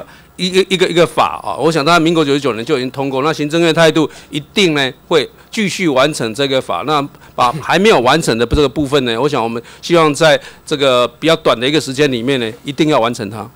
那那这样我请教一下哈，那我们明年我们编了多少预算？呃，改的预算吗？嘿，部分其实基本上它不太需要什么业务费，其实就是一种主要是内部的一个讨论跟会，所以预算非常非常少。那编在编在哪个单位啊？呃，编在呃人事人事总处，编在人事总处。对，在人事行政总处里面的我们的呃主编人力处里面的一个，因为归主编人力处的业务。哈，哦，我我特别问这个，就是说啊，哈啊，除了我们有这个之外，那你很你这个组织改造，你也会牵扯到今天大家都在讲的三级机关哈的一个问题啦，哈。所以，我我我这样子就是要说了哈，我想请教你呢，哈。您所知道的，现在三级机关呢，它的职等差距，你知不知道差很多？大概有可能差到两个职等，就有些可能到十四，有些可能到也许十二到十三，就是在这个大概在十二到十四这中间有不同的职务列等方式。我跟你讲了哈。您您您这个单位啊，您人事行政总处专门在负责这个的是哪一个处长？是综合规划处还是？呃，如果您说职务列等的部分，其实这个是归呃全序部负责，不，你们这边的业务。我们这边业务是归主编人力处，哈，对吧？归主编人力处。对，那你知道差多少？个是分别从十一到可以列到那个十三职等都有，有四组列等，都是依照全序部的公务人员那个职务列等表的规定。我跟你讲哈，最高可以到多少？是是是三级机关还是四级？我只讲三级机关。三级机关目前是到十十三啊，十四十四职等，十四十四。好。你看哦，这个都是你们的最主要的业务。我现在一问哦，你们大家也是这样哦。我跟委员报告，这个实在是因为我们的三级机关数真的太多了，不过大概就是这个 range 啊，我知道我们可能不够精准了。不是，我也没有怪你们或没有什么，我不会说什么你们今天来立法院什么资料什么啊，没有。我要凸显的问题是这个问题有多复杂。我跟你讲，如果你要讲的话，你从九职等到十四职等都可以当三级机关的首长，哎，是不是这样啊，处长？你刚刚说十一到十四，你刚讲的，我刚你刚本讲十一到十三嘛，然后后来我说最高是多少？你们有人跟你讲十四嘛？那最低是多少？啊？十一吗？最最最最低应该还是十一啊？十一吗？对了，那我的资料是错的喽。可能大家有点沟通上的一个。我跟你讲哈。这个也也不能完全怪你们，我要凸显的是你三级机关目前有多复杂，是真的。我跟你讲，你看守所跟戒治科所的所长几职等可以当，呃，他不用十一职等也可以当。跟委员报告，他不算三。我跟你讲，我们概念上不定义他三级。还有，你的典狱长，对，对不对？呃，跟我们我跟你讲，你们这边列的是这样子，可是你在各三级，你多少到多少职等也都可以当。我今天要要讲的是，我们今天一直在讨论这个三级机关呐。那我觉得你组织改造，你跟这个三级机关，其实你如果不管政务的、常务的，你政务、常务的情况之下，我要我要我要请教一下，你如果职等差了很多的时候。你觉得各跨部会的整合、跨部会的合作，你觉得顺利的能够推动吗？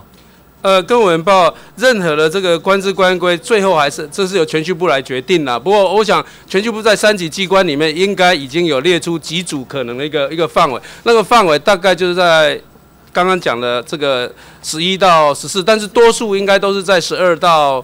十三这中间呢？那我了解委员的意思就是说很复杂，很多啦。你包括我，我请教一下啦。你包括退辅会有多少三级机关？对不对？相当三级机关非常算。你退伍会的三级机关有多少？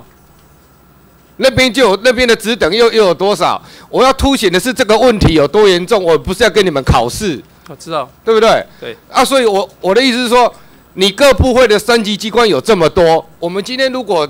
只要讨论说啊，这个三级机关政务任用或常务任用，其实我觉得大家都把问题太窄化了啦。好，我觉得我们不应该看问题，不应该就只有这样子。你三级机关有那么多的情况之下，我们要讨论政务或常务之前，我们是不是应该，好，把它第一个，我们如果组织改造。把有的三级机关，你有的是不是还适合三级机关，或是它本来你改列四级机关就好了啊？没错，对不对？这些东西你各部会所有的部会，你应该要有一个去一个整合，去一个一个出来。那我们再来讨论这个三级机关政务或常务。我个人是认为，我不知道好人事长你的感觉，有的很多的单位，有的很多三级机关，我个人认为啦，你用政务官，我我我认为是没有没有错的啦。我们不要再陷入那个保障升迁或是政府专业的一个问题。我我觉得保障升迁对公务人员一定要，不过也不能因为这一个问题，然后来让政府有没有专业，政府有没有效能哦，这个混淆。哦，我我我我我简单，我我我简单请问一下啊，如果我们现现有的铁路局，铁路局三级机关嘛？对，没错，对不对？对。啊，每天都在，所有人，全国、全台湾的人都在骂铁路局效能不好，连个车票都买不到。那因为我们的就是既有的常任文官，我们既有的这样子，他的思考都是一样的。那如果我们有一个比较外部专业的人，我们来铁路局来改革来什么？好。它整个不止不只是你你的建设、你的你的售票啊、你的排班、你的班表，我觉得如果能够朝这个方向来走，是不是会更好？呃，跟我们报，我想您您所要铁路局就是我们通称的台铁局，它其实对不算我们的行政机关，但是我们也把它相当于，如果要比的话，可以大概相当于三，你你你现在来也是也是三级机关可以的，但是它不是我们正式定义，它是一个事业事业机构了。不过我想委员指教就是说，一个事业机构要怎么经营的更好，它的一个机关那个机构的首长可以有更呃多元、有专业的一个考量来运用，其实这也是一个好事情啦。好不好？所以任市长，我我觉得啦哈，我们看东西看事情，你就是我们大家都太僵化，在哪里？好，在我们这个是什么？我刚已经先故意我说凸显你那个问题是这样子的，结果你现在又把它又回来这边。我的意思是说，你比照类似三级机关有多少？你要你这次要做这个，你是不是应该把政政府整体纳入纳进来看？而不是我哦，像您刚刚讲的啊，这个是什么独立机关或者我我觉得或事业机关是什么？我觉得如果要做真正你的层级类似三级机关的，你不管是什么的，然后跟人民息息相关的，我们应该纳纳进来考虑啊。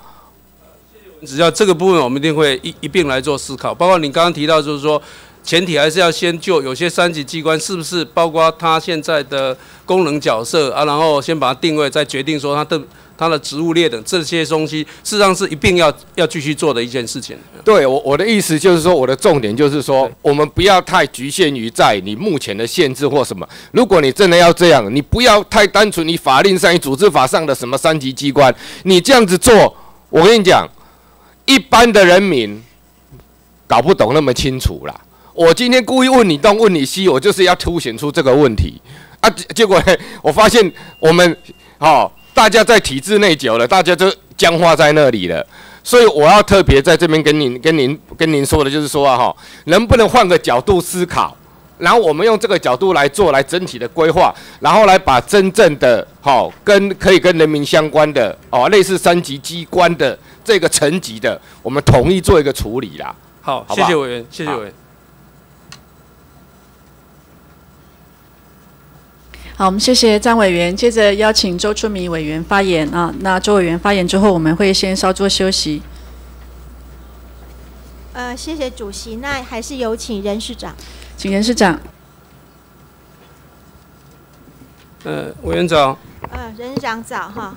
那我想讨论到现在啦，其实我们可以确定一个方向跟价值，就是说民主政治时代的治理价值之一就是文官政治中立嘛，哈。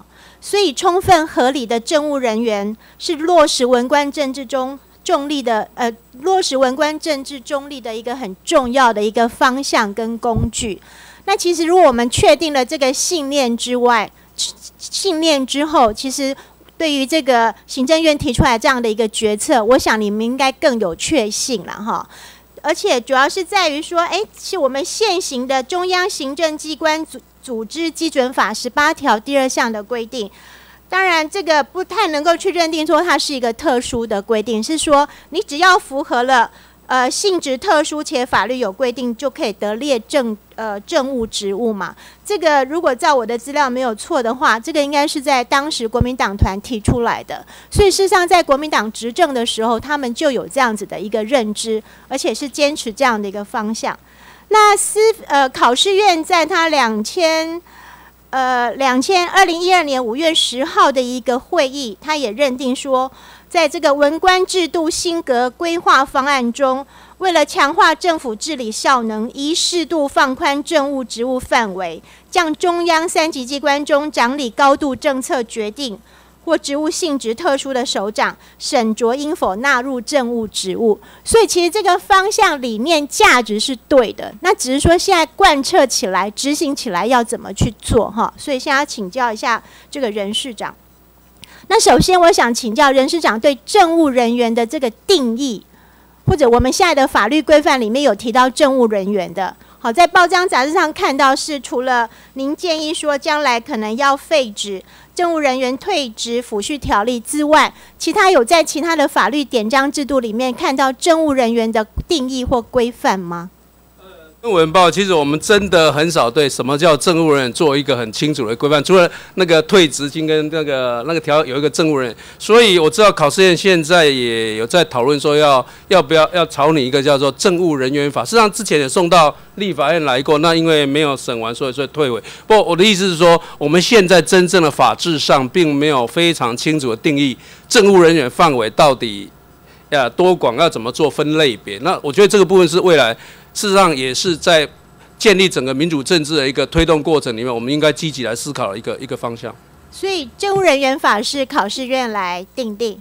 呃，应该这样讲。呃，在过去的大概是过去的协商过程里面，呃，都是考试院来负责。虽然在宪法上并没有提到这一块的政务人员到底是呃，在宪法上没有这种文字嘛，所以只是过去好像就通通是由考试院来做这样一个负责。好。那接那我们下次就在考试院的部分再来请教。那现在就是说，那我们也看过任市长写过的一些相关的文章了哈。那以你个人的专业认知还有确信，你认为说重新建重新建立政务政务人员的体制有它的迫切性嘛？那请问充分合理的标准是在哪里？以你的确信来说明一下。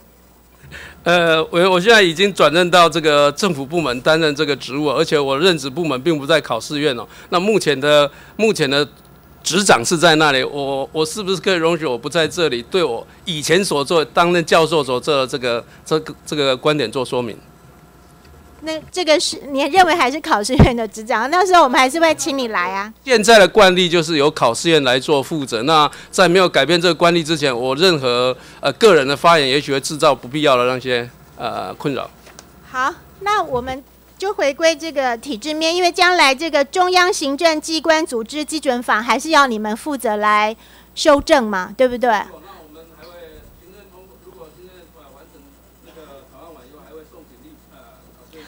那就请教，就是说，依照目前的规定了哈，大概大家明知道的，就是除了中央鉴保署，对，它是三级机关，它是名列嘛，法律有明定，那其他是没有的嘛？呃，还有空勤空勤总队，内政部的那个空中勤务总队，空中勤务总队不是要比较属于事务性质对，但是当初的立法，因为当初的个别立法，我想当初一定有它的一个背景历史，所以那空中服呃呃。呃，那个勤务总队其实他每年的预算数也不少了，跟委员报告。那所以是符合你们所谓的预算规模高的这样的条件吗？哦，没有，当初那个空警总队在在把它当成双轨制政务职的时候，并没有没有讨论到这些事情，那是在这个之前发生的事情。只是我现在重新来。定义那个本来基准法是八条讲的叫性业务性质特殊协议法律，所以其实这一次是希望能够更细腻的操作那个当初法律讲的什么叫做业务性质特殊。那我们考虑结果，业务性质特这个字眼实在是有点太蛮见仁见智，所以才提出说，也许可以应该以政策导向跟预算执行比较多的作为可能筛选的一个机制。那大概我们一般的疑虑了，就是说。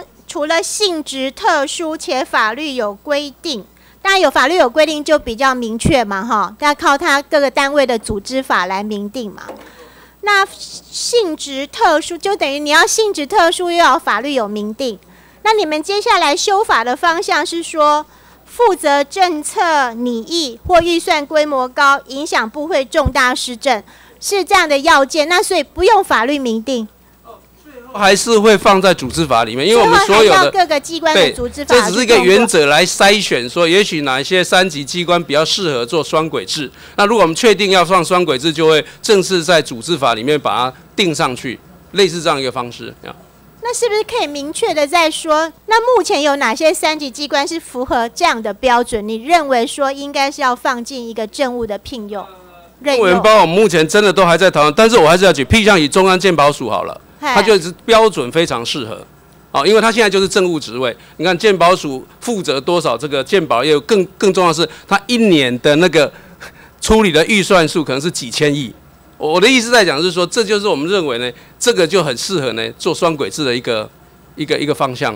但是个案上，因为现在还在讨论这个这个大家一个想法，所以还没有真正进入到讨论实体，就是说我们把三级机关做的。去抓哪些到底适合是将来是政务的任用，因为你们现在所谓的双轨嘛，所以也不排除排斥文文官，也不排除政务任用。制度上设计就让它有双轨的可，现在的鉴宝署也是双轨制，空中呃空警总队也是双轨制，制度上都是这样设计的。那怎么样去说服？因为他大家现在有这个疑虑嘛，就是怕说排挤到这个文官的。当然文文官的升迁应该不是政务的升迁啦，但是等于在整个社会或者一些国国家政府机关交给他的任务更重、更更重大嘛，更负责任嘛。当然，有些文官他会有想他发抱负要发挥的地方，那大家会有这个疑虑啊。那这个疑虑，你们将来有哪些？比如说，我的员额是限定多少，或者一些比较其他可以去除疑虑的这些做法？哦，跟委员报，我刚刚讲，除了那个筛选原则以外，我们一定会设定一个一个上限，就是说总量管制。实际上，我们整个基准法很多都是总量管制，那我们务实的会去讨论那个总量最多设定到多少。那事实上，啊，绝大部分，因为我们三级机关数量蛮庞大，我想根据台湾的实务的运作，现阶段要要先推动这样一个修法，不至于会把那个总量呢就占的比例弄得太高了。这个也是为了要确保文官还是有这个呃优秀文官，他根据他专业还是继续在那生涯发展。那这样会不会有矛盾啊？就是说，还是确保要让优秀的文官他还是有担任？呃，我我跟委员报告，就是说这个是台湾，因为我们要承认。所有的制度变革都是，这也不叫制度变革，制度的演进都是要承认过去我们有很长久一段历史的一个一个一个演进。我们本来就是以文官为主的三级机关，那因为我们现在这个制度为了搭配民主政治的责任政治的需求，所以还是要务实的做这个这个权衡啊。所以我觉得在这种权衡下，我们还是建议呢，又还是用这种政务跟常务双轨，然后给他呃阶段性先有比较一一定比例的一个限制，这样会比较好的运作了。好。好，谢谢。好，谢谢主席。好，谢谢周委员。那我们现在在先在这边休息二十分钟，谢谢。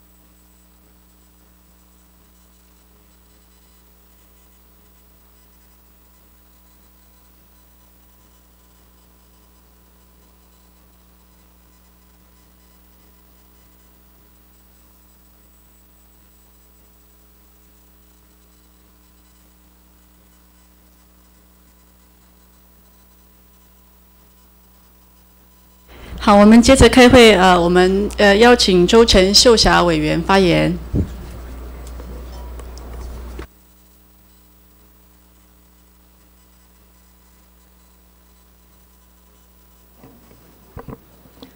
呃，主席、各位同仁、呃，各位媒体记者，大家早。主席先请秘书长。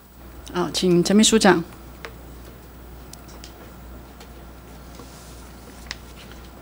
周总委员早，秘书长早哈。目前大家对我们政府的现况运作的感觉，然后是呃民众的声音，政府听不到；那地方的需求，中央也听不到。哦，这是大家的感觉。那在中央又叫不动地方，哦，那。在中央，则是各个部会都互不协调，哦，各个阶层也都互推责任。不知道秘书长你有没有这个感受？呃，谢谢委员的指教。我的认知上面，呃，我们的跨部会的协调的机制、沟通的机制，现在还蛮顺畅的。那我们跟地方政府的部分也是如此。我举个例来讲，比如说台东在这个风灾的时候。我们呃跟地方政府就跟他们才很快的通知，各县市政府都派人去帮忙了。所以我在想，这个沟通的管道或者是我们协调机制，在我自己的认知上面是应该还算顺畅跟呃顺利的。好，那你是感觉良好了哈？目前啊，但是地方还是有这一种声音表示。我们还有进步的空间。好，如果委员认为还有呃我们需要改进或者是努力的地方，那请委员不吝的指教。好，谢谢啊。这这几年政府组织再造哈喊得震天响哦，但是不断再造的结果，反而是让官僚组织是越来越大，冗员越来越多哈，人事负担也越来越重，但是人民的荷包。却越来越缩水，哦，生活也也越来越苦，哈。为什么组织改造改造本来是利益良善啊，哈，那为什么会变成这样子？呃，我想我们组织改造的目的哈，并啊精简人事或者是说呃缩小机关的这个总数，固然是我们的目标之一。可是我们还有一个很大的功能，是希望透过组织改造，能够提升我们的服务的这个量能，或者是说这个服务的绩效，让人民能够呃受到更好的政府的一个照顾。那我想我们每一个工作大概都是因事而设而去设人哦，应该不会因人而设事。那当然是不是还有检讨的空间？我相信一定有的。那我们会继续的再做检讨。好，因为我想人民所期盼的哈，一定是一个有担当哦哦，不是一个大而无当的政府哈。所以执政党如果有想要进一步。改革就有官僚组织的话，我想政府内部一些毫无意义的业务业务项目哈，是不是应该删除哈？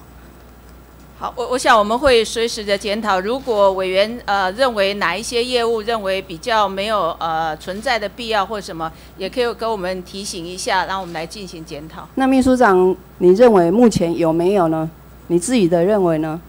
有没有一些组织是需要做调整或者是删除的？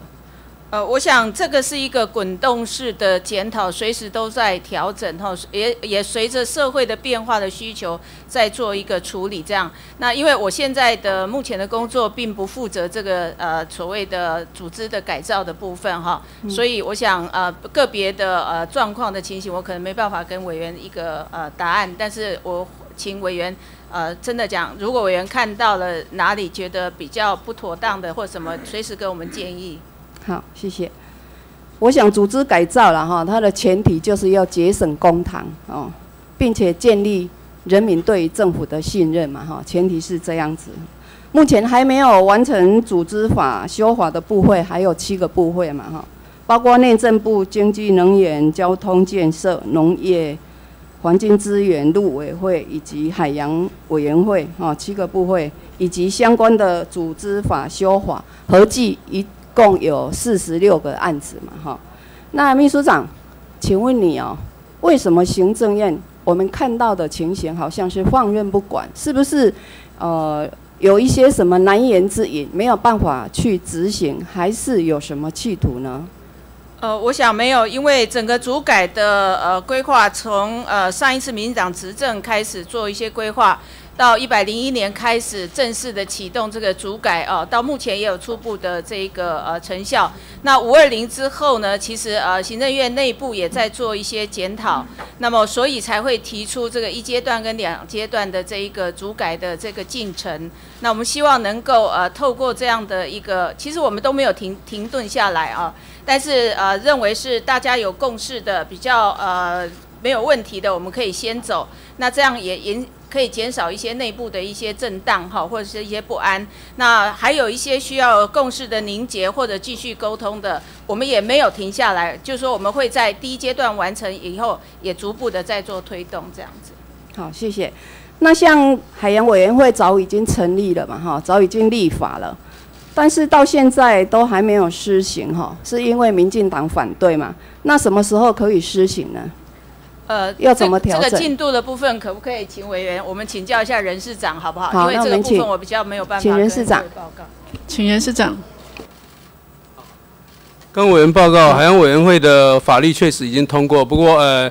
呃，在立法院做了一个决议哦，要暂缓执行哦，那所以行政院就根据这个决议再重新做检讨。那我想海洋委会因为它下面的一些三级机关有些新设，还有它可能绘本部的业务会跟很多其他部会也有一些关联性，所以这就是我们目前在积极在做重新一次检视，然后看在呃下一个阶段里面呢，也会一并来做一个检讨跟提出。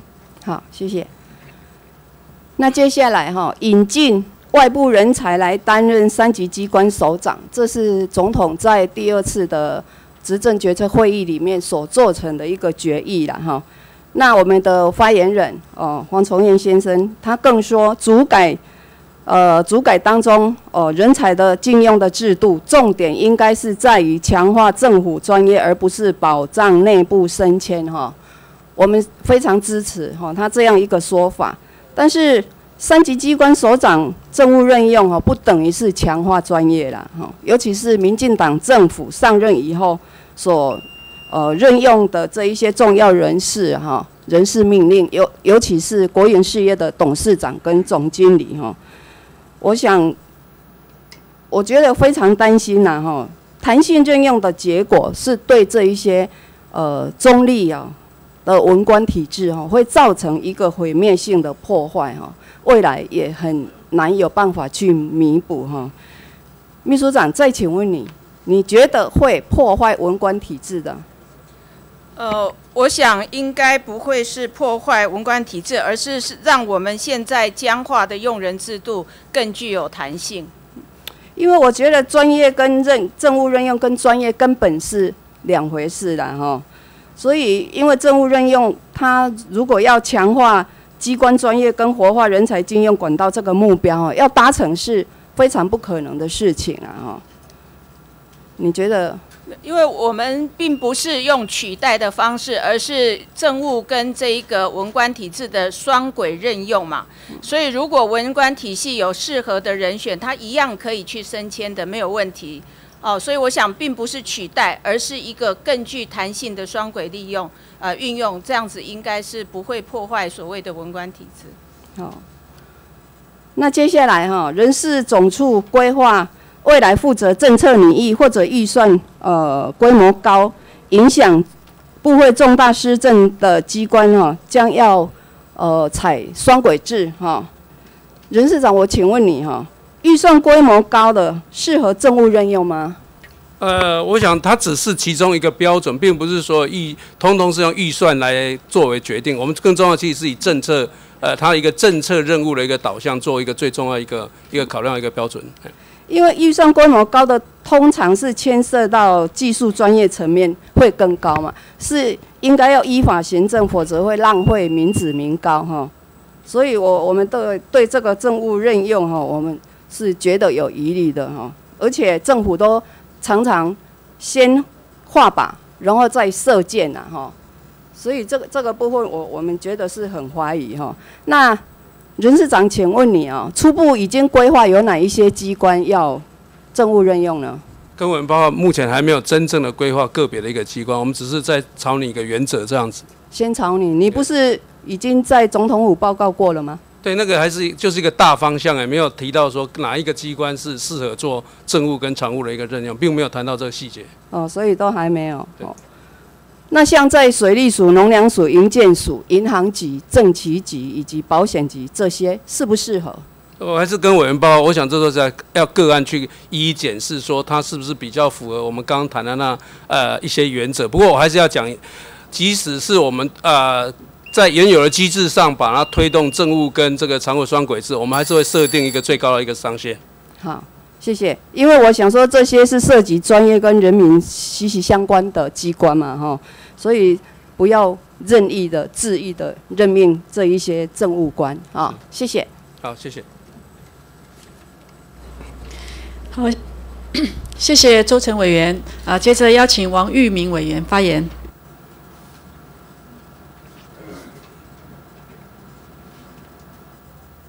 呃，谢谢主席。主席，我们是不是请人事长？请任市长。呃，王委员好。呃，人事长你好哈。本席想请教你哈，十月十一号在呃总统府召开的这个呃执政决策协调会议当中，你有没有出席？呃，我有，你有出席是不是？那你出席，你担任的角色是什么？我去就行政院的这个呃，跟总统要报告的事情，等于是做做一个一个一个说明跟报告。做一个专案报告。对。那你觉得这个场景有没有错乱呢？你这样的一个专案报告，怎么不是在行政院院会，怎么是跑到总统府去了？你是行政院，你是下辖在行政院底下的人事长，哎。你怎么会跑到总统府去做这样的报告？我想我是跟着这个院长去做报告的，跟着院长去做报告的。然后那个决策那个场景不是在行政院院会，就是在我们的总统府，然后拍板决定了这样的一个方向，对不对？我想总统听取报告以后，他他在原则上是支持行政院的一个规划。那你行政院有在开过院会吗？那所以行政院还没有具体，就是这个方向完以后，我们就回来呢去做比较细部的一个。我们请秘书长也上台，好不好？还没有真正送到行政院去。本席想要了解一下这个整个行政决策的过程哦。到目前为止，有关于这样的一个拍板定案，我们都是从媒体上看到哦。那行政院院会有针对这件事情正式开过会议讨论过了吗？呃，报告委员，这个还没有提到行政院会，但是在我们内部，呃，在五二零之后，呃，人事长还有相关的部会已经跟院长做过专案的报告跟规划的方向。为什么没有提到行政院院会呢？这么重大的事情，没有。呃，这个要提到行政院会，就是要形成法案，但是我们的法案还没研拟完成，现在只是一个方向，一个改革，一个未来的一个呃施政计划的一个方向而已。但你们都已经到总统府跟蔡总统报告过了，而且也拍板了。不是，因为我们呃这样子的一个规划呢，我们也希望能够跟呃府院党大家能够有共同的一个一致的看法，所以我们当天其实是总统是支持行政院的这样子的一个规划的方向，而不应该说是呃总统拍板定案。没有拍板定案吗？媒体出来的新闻，你们发言人没有否定啊？没有，我应该这样说，就是行政这是行政院的职权，然后行政院的规划获得总统的一个支持，结果行政院院会自己并没有在院会针对这件事情做正式的提案跟决策。秘书长，你没有觉得？这个在整个行政体系的运作上面，现在真的是一个错置的非常严重吗？这样子这么重大的一个事情，实属于行政院辖下，我们人事长这边应该要拍板定案的事情。结果这件事情呢，你们是等于先上去总统府做完决策之后回来，行政院到现在院会都还没有报告，这行政院是不是整个被架空了？你们整个决策机制已经层级往上拉到总统府才可以拍板定案，行政院的功能何在？行政院院会的功能何在？你们自己现在在执政，没有觉得这一点有问题吗？怎么会是这样子的错字呢？先跟总统报告，总统拍板定案，那行政院院长做什么？行政院秘书长你要做什么？你们凡事事事都要呈上去总统府做决策，行政院存在的目的何在？行政院院会开会的意义又何在？这不是很荒谬吗？我们今天排这样子的一个专案，也凸显了这样的一个问题。你行政院院会都还没有决定的事情，总统先拍板定案了。我们的行政体制是这样吗？我们还是双手掌制好吗？那请问行政院院长的功能何在？这件事情到底林权院长有没有智慧的空间，还是只要蔡英文总统说了算？没有这个这个案子的决策方向，还是由院里面拍板定案。所以院长在听取人事总呃人事长的一个报告以后，我们就是要朝这样子的。那应该是你行政院里面自己先开完会，有相关的法案，你有相关的方向，大概都已经确定了，然后再呈总统。让他最后拍板定，现在不是哎，总统先定了大方向，要求你们要这样子做，你们再回来再开始想我的法律条文怎么做，这样子的一个行政的一个措施跟决策的方式，完全是由上而下了。哦，还从总统府这样子下来了，我个人觉得这样其实是不是一个正常的情况？这等于让你整个行政院的机制跟功能某一部分是被架空的。呃，我想我们的运作上面，我刚刚跟委员报告了，就是说，其实院长是拍板定案，然后总统支持我们这样的一个方向。你们行政院会没有开，怎么拍板定案呢？所有的行政体系该遵守的，这是现在新政府的问题。行政体系该怎么走，该怎么办的，你们现在完全没有了，就按照你们自己新架构出来的体制在做事。总统府的这个行政决决策协调会议，基本上就是这么回事。原来照道理来讲，你们任何的议案，你要经过行政院会吧，不是吗？那行政院会做什么？你们每个礼拜四的行政院会，不是就是要决策、拍板定案重要的行政院的决策吗？那今天要告诉大家说，这一件事情，把三级机关。这的任任命由原来的这个常任文官要改变成是政务的任用，这不是一件重大的决定吗？非常重大。但是这件事情，如果行政院会都没有做过任何的讨论，也没有提案，竟然就上岸到总统府，由总统拍板定案，我觉得这个行政程序有非常大的瑕疵跟问题啊。来，秘书长，你先请回，我接着要来请教这个呃人事长，人事长在这里面呢。这件事情大家最关心的就是对于文官士气的打击。我想请教你哦，过去为什么我们在整个行政基准法里面第十九条，我们一级、二级都是可以政务任命，为什么在唯独在三级的话提到的军列常任的职务，都必须是常任的文官来担任这样职务？你知道为什么吗？呃，跟委员报告，其实原来基准法的十八条就让。三级机关是可以业务性质特殊且法律的规定就可以列政务职位，那是后来才修的，因为鉴保署署长，目前仅开放的有谁？你可以告诉我，目前三级机关由政务任命的还有谁？就是总共有几位？只有两位，只有两位，为什么？为什么比例这么低？没有，我想这个是因为法基准法本来就赋予法源。那当初呢，在个别修组织法的时候呢，那我想是经过这个行政跟立法部门。为什么只准例外不会变成是常态？道理在哪里？不，我想这是每一个。道理在哪里啊，任市长？每一个阶段，每一个阶段。你作为人市长，你掌管文官整个培养这么重大的，你要有你自己的立场跟看法。对，那道理在哪里？我们的为什么三级机关没有办法全部的开放呢？道理就是。担心会去破坏原来文官体系的专业性跟中立性嘛？连这一点你都讲不出来。我跟委员报告，我想在我的报告你连这样的立场都没有吗？那你将来怎么样去带领所有的文官体系？我跟委员培养他们呢？一个三级机关的一个首长，用双轨制的一个任用，跟所谓为你现在比例要多少？文官，我我们没有破坏，要看你的比例多少。还有重点就是没有你用什么样的心态来任用这样子的一个职务我们正在建立一个制度，让任何未来什么样的制度？这个制度就是一个符合民主政治的一个责任政治的一个制度。符合民主政治的责任制度，一级、二级还不够，还要拉三级来垫背。我想跟委，那以后都通通给三级来担负这个政治责任，一、二级做什么？反正下面还有一个垫背的，这件事情做不好呢，以后就是局长、就是署长的责任。他来立法院，什么事情都叫局长、署长上台就好了。那将来这个政策要做什么？部长要做什么？如果这么重大的一个政策，部长级的、政次级的都不敢。担起扛起这样的政治责任，今天还想要让一个三级机关的署长或是局长来扛起这样的政治责任，这算什么责任政治？我想跟委员报告，因为在我们的现行的制度下，当然政务首长、部长跟次长一定会负担政治责任，但是实质上呢，不够，再拉一个三级来垫背。我们在现在的运作上，三级机关根据组织法有不少三级机关，它也实际上负责政策的研拟跟法制的一个研拟。所以以后你就打算让三级来背所有的黑锅喽？如果这个事情做不好，就让。三级机关政务任命的这个署长或局长来扛所有的责任吗？因为你们的报告有提到，你的报告有提到说，将来来立法院报告的时候呢，就是让这个局长跟署长呢，他可以扛起这样的政治责任。如果他是政务任命的话。那上面的就按纳凉了。我想我们的解释，我们的政务次长、我们的部长就反正呢三级嘛哈，还有最下面那个先顶着，是这样子吗？我跟委员报告，一定不是这样子，因为任何我觉得一个法律今天如果你们想要做改革的话，本席觉得应该是要改革，但是改革的前提是你们在整个文官体系里面怎么样去找到好的人，培养好的人，而且让他愿意在这个文官体系里面可以久任。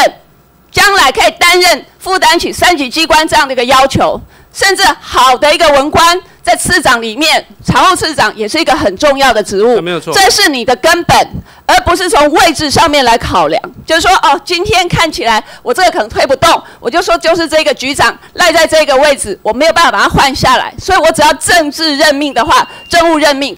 我就可以用我想用的。如果是往这个方向思考，那绝对会是一个错误，而且会是我们文官体系一个非常大的灾难。我希望在改革的过程当中，任市长你也要考虑到所有文官。他们真正的一个心理的想法，如果你这样的改革会变成是士气的打击，我觉得你要非常小心这一块。文官体系还是我们整个台湾社会运作里面非常重要的一块，我们仰赖的是这个政务官来来去去那个都没关系，但是我们文官体系的体质一定要好，而且不要在改革的过程当中去打击到士气，而且破坏掉他们的士气。真正该做的是文官体系里面选才用人。真正拔擢出好的、优秀的文官，我觉得这是人事长的责任。谢谢。谢谢委员的指教，我们我我同意委员的方向，只是会提供一个双轨制的一个选择。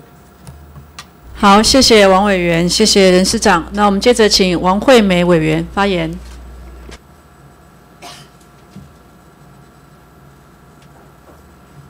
主席有请秘书长，请陈秘书长。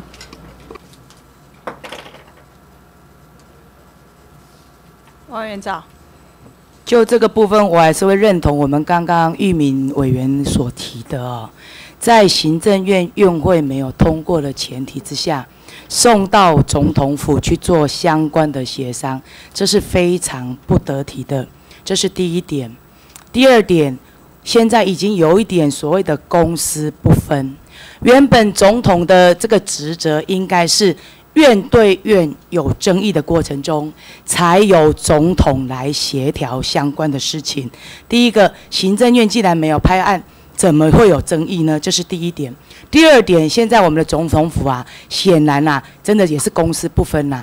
一些所谓相关的政党呐、院会院呐，什么相关的决策，通通在总统府在做。我觉得这是很不得体的啊。好，来秘书长，我今天要开始跟你咨询的时候，我会针对我们蔡英文总统在他还是当候选人的时候所说过的一些话。来检验你们今天行政院所提出的三级机关首长的双轨制哦。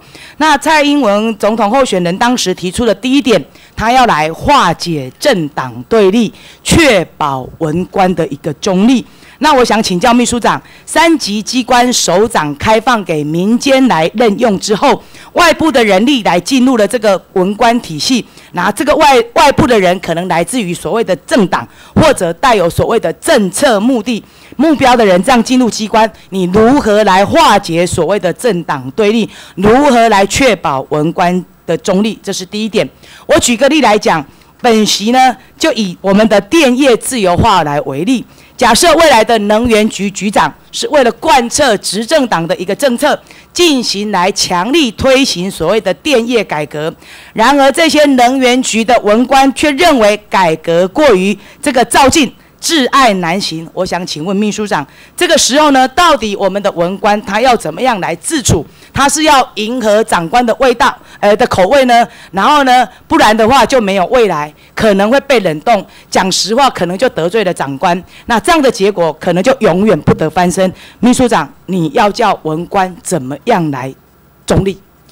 呃，跟委员报告哈，文官还是一个专业的考量，他们在专业上面，他们应该要提供给这一个首长啦，哦，他们的专业的意见，但是最后负政策责任的还是首长，还是首长。所以就像我们玉民委员讲的，找这些三级的主管来当垫背，所以我们的这些次长、正次，大家都。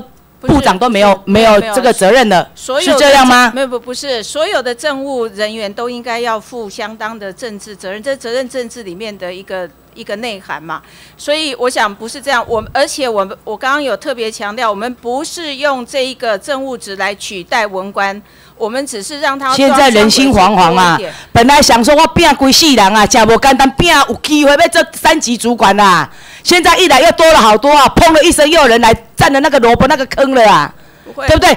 对于他们的士气如何来提升？好，本席再来第二个，我们的总统候选人蔡英文啊，当时又提到第二个原则啊。确保政府官员任用的时候是只看能力不看颜色啊！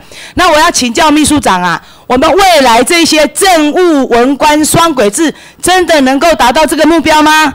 那我们呢，是不是更容易让我们这些政呃文官呐看风向选颜色啊？我举个例来讲啊，我们就以我们这个九月三号啊，经济部人事处啊正式发函给所有经济部所属单位啊。依照经济部王次长美花信函办理呀，办理什么？办理可凯达格兰学校国家领导与发展策略班的推荐的这个报名呐。我要请教秘书长啊，你知道这间学校是干嘛的吧？我想。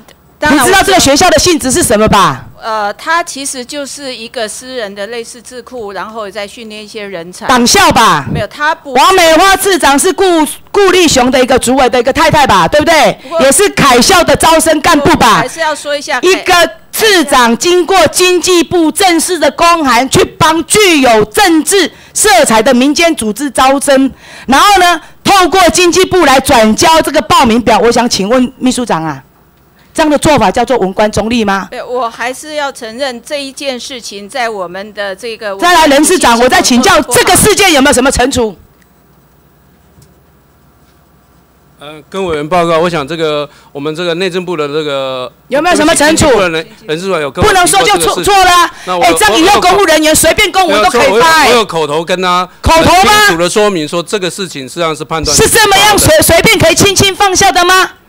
是吗？那你这个过程中，哎，你们行政体系现在完全破坏，公文有核稿的，核稿有经过秘书，哎，经过相关的主管，哎，这些人都死掉了，不知道什么叫行政中立啊，是不是？呃，跟我报，我想，因为这是在内政那个是不是部发出去啊，所以新经进一步的公文流程，我个人并不是很清楚啊。但是我想，这就是我们人事总处训练出来的公务人员的素质吗？是因为这样里面没有人才，你们才要把三级主管弄做外面的所谓的政务职吗？是这样吗？我想绝对。那你那你的努力的方向就不是在这里喽？你努力的方向应该是我怎么样训练这一批高级的官员，能够为国所用吧？对，没有错。我们对吧？不是说从外面再引荐随便的人进来打击士气吧？我想这是两两两件事情了。我们一方面还是非常重视文那我要再请教啊。你这样的公文会不会让人家感觉啊？我快点来报名啊！我想要升迁啊！我来去那边上课啊！上完课之后，我会认识很多的政要，我升迁的管道就快啊！这是完全破坏文官体系最典例典范的一个例子。呃，我我我的了解，经济部跟我的报告是说，他们这次也是过去很多他们呃在。举例出来嘛！以前有这个早就批死了，还会像这样轻轻放下？王委员，经济部的人事处长有来，要请他上台吗？来，请上台。后续你们怎么善收拾这个善委？还是就建立一个典范，以后每个处室、每个部会都可以这样发文？报委员的那个当时那个哈，我们是把那个一个研习活动，以前我们也对哈那个各这样是对的吗？不是，就是因为这个这个案是，呃，所以现在改改改这个什么？这个学校是可以大家都都可以在公务体系发发公文的，就对了。啊，凯达哥来学校是吗？我们后来检讨也是认为不宜啦。不宜，然后怎么样口头申诫？呃，我们所以人家为什么人就是这样啊？人家为什么对公务人员越看越没有担当？这这个案子我们后来也没有任何推荐人选去报名。不是这个问题，这个是一个制度的问题。对，以后我们也不是没有推荐人。以后我们不会犯这种错误。然后呢，发公文，行政有没有中立？要不要追究？有没有我们不我们会深次检讨这个案子？就这样而已，所以怪不得嘛，没有是非嘛。以后就长官怎么，长官怎么交代我怎么办就好嘛，反正有长官顶着嘛，我也不会出事嘛。所以为什么人家说现在公务人员多做多错，少做少做，不做不做，就是这样啊，对不对？我做了很多对国家有意义的政策的规划，有什么屁用？对不对？长官没有关爱的眼神，我做的再多没有用。长官一交代我做错了，没有事情呢。现在真的是这样呢。你叫这些公务人员，谁敢去做事啊？所以为什么会觉得行政效率不彰？为什么会觉得一直自爱难行？嗯，就是这样啊，心态的问题呀、没有，我我们王次长没有特别交代这个事情啦，那个纯粹是那个把它当成一般的研习活动处理。一般的研习活动是判断不太。所以我们现在等于在你们公务人员的脑袋里面，凯达格兰学校就是一个一个政治一个很很很一般性的。哎，不是都说我们政党要退出吗？怎么会把政党的东西放到我们行政体系了呢？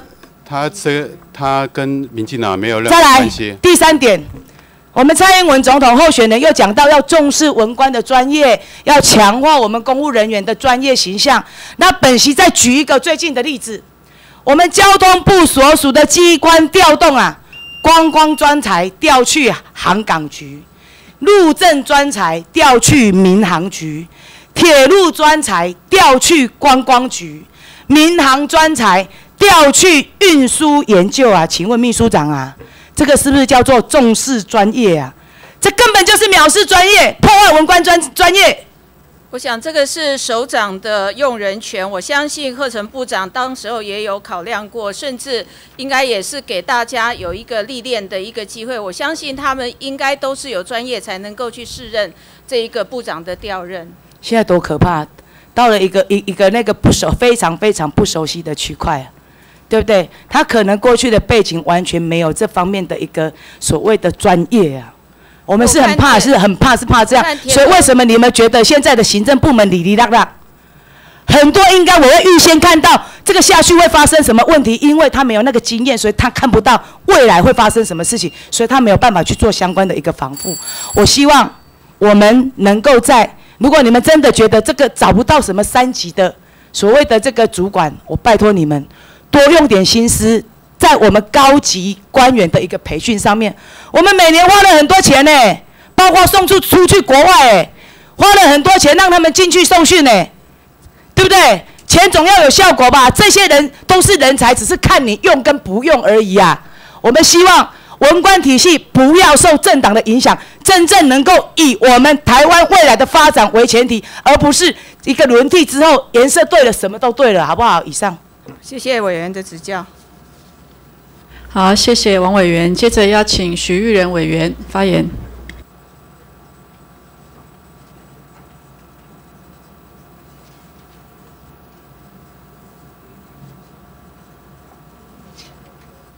我还是请一下那个人事长还有秘书长。啊，有请两位。徐委员好。徐委员好。好，秘书长好，好，还有人事长好。呃，我还是追问一下刚刚那个那个王惠美委员提的这个呃关于经济部次长王美花次长在用自己的名义去招凯达格兰学校招生的问题，我这个问题我是觉得蛮扯的啦。那你们要不要惩处啊？然后你已经你人事长的身份，就是我觉得谴责不够哎、这个太扯了。在在别的国家，这个人是要被弹劾要下台的，怎么可能会这样子呢？呃，我先跟那个委员报告，事实上事事情经过的时候，人事处长有跟我报告，他跟我报告是说，并不是王次长嘞不是啊，他他有印，他有官印啊，没有错，他有官印。我要问的问题是说，他自己 endorse 这件事情，他不可能不知道。那你跟我说，一个政务官、一个次长这么重要的人物，在帮一个党校招生，这个别的国家他没有办法被允许的。呃，跟委员报告，我想凯达格兰学校，呃，外界也许有一些不同，但他确实不是啊，这个蛮明显的，这个没有不用辩护凯达格兰学校的色彩。我要问的事情是，你以一个主管的身份，你要不要惩处嘛？呃，公委报，我这件事情我们会有年年终考绩的一个事情，因为人事主管是归我。那你有提出检讨报告吗？我我我有讲，呃，他当初第一时间跟我做报告的时候，我就很慎重的跟他讲，这个事情呢是不对的。那我想呢，后续呢？那检讨报告在哪里？你跟他讲，我我我不知道啊，媒体知道吗？媒体也不知道啊，所有所有的国民知道吗？那请问一下，以后是不是每个党都可以在这个透过自己政政务的要职去招收？这个党员呢？哦这当然是不对，这不行，对不对？那你怎么？你要不要惩处嘛？对，我想我在在年我们有年度的那个年终考绩的时候，我就会把这件。那这个事情是不是应该昭告天下？应该有一个正式的检讨报告，说这是不不允许的。好，我会我会在内部做一个这样一个我们的体系。不是说在内部，内部我们都不知道啊。你要昭告天下啊，这样所有人都知道。呃，根本报，我想那个细节的东西是在，我还是要跟着我们的那个人事处长在做一个。很实际了解。好，那个人事处长来一下。经济部的。你认为这件事情对不对？你你你你摸着你的良心讲。对，我们这对不对？在检讨应该是不对啊。应该是不对。那是因为王美花次长是你的长官，所以你不敢说不对吗？没有那个。他这个这个案子送上来到你这边的时候，你不会觉得奇怪吗？这这个案是我们没有有政治的压力吗？我们我们没有生没有没有政治压力。没有没有还是不敢讲。这里是国会殿堂，你可以把你的实话讲出来哦。这是那个那个文，后来是授权我们代我们处里面代判啊。处处里面谁代判？我我我，呃，是我代判。那你你你为什么会判这件事情是被允许的？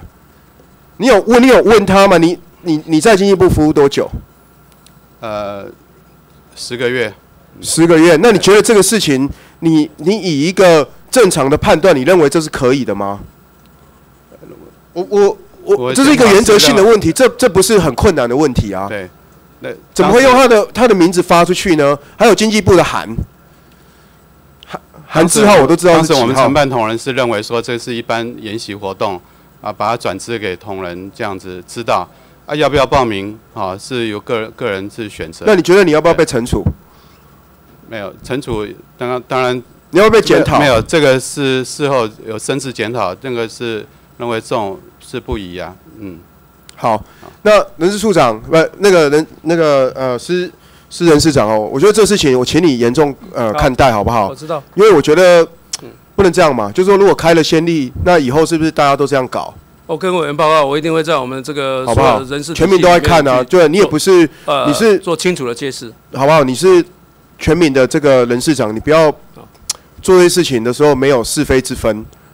这是大是大非的问题啊，就是该怎么做就怎么做，就是你的位置就是该检讨、该惩处就应该去办。如果做不做不出来、做不下来，其实大家会觉得说，那这请问一下，那以后你在任用的三级文官上，是不是都是你的政治打手？我跟委员报告啊，虽然就是说法律上呢，呃，海啸绝对跟民进党有关系，但是外界讲这种疑虑，我想我一定会要求我们的人事处长呢，好，下一页这样一个检讨。下一页，好，那个。处长，请回，谢谢。处长，呃，那个人事局长、人人事长，请问一下，目前这个三级这个政务呃文官啊，你觉得会增加中央政府总预算吗？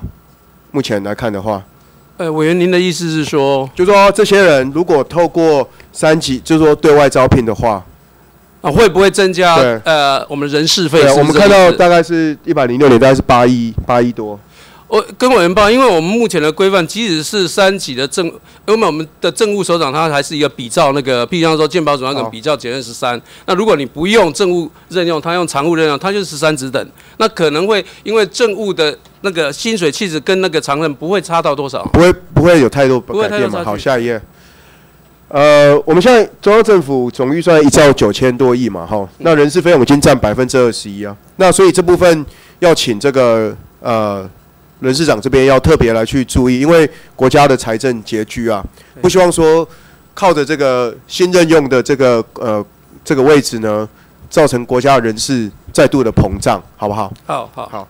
那第二个我要质疑的提出的一个呃问题是说，这个办法的正当性。那请问一下，这些三级的文官啊、文官啊，将将将来的话是政治政务任命的话，那他是不是为政党服务？那将来如果政党轮替的时候，这些人是不是要总辞？那有多少的这样的一个位置？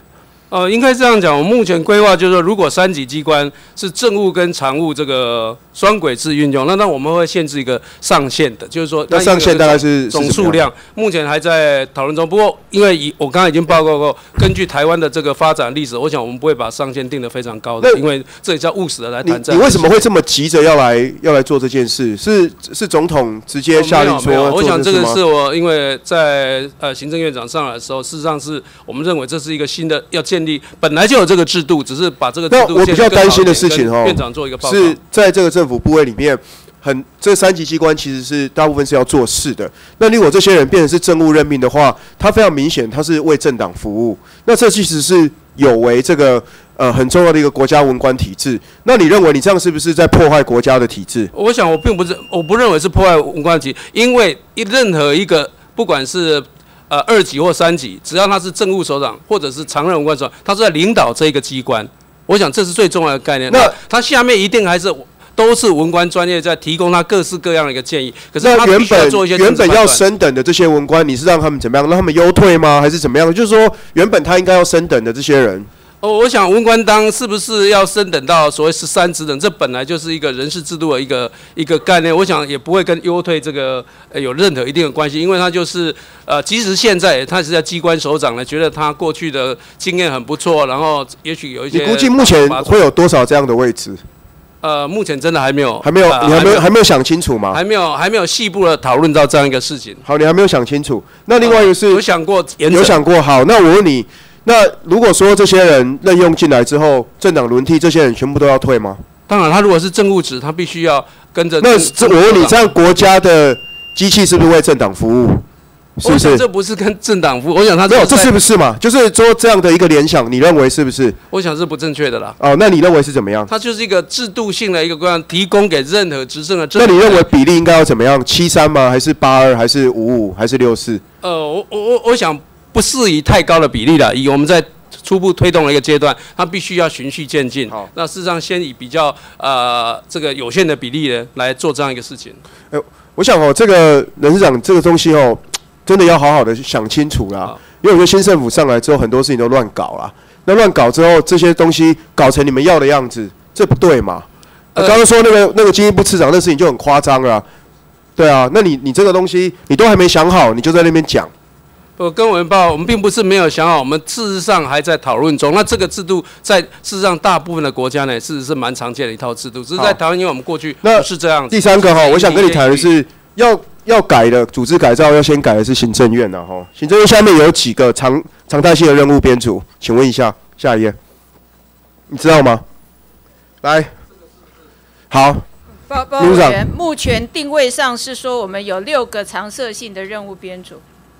哎，我这边怎么有五十六个呢？不是，您讲的那个是临时性的任务。哦，临时性都写临时性的任务编组有五十六个。对。那你觉得这这五十六个，这个总共聘用了多少人呢？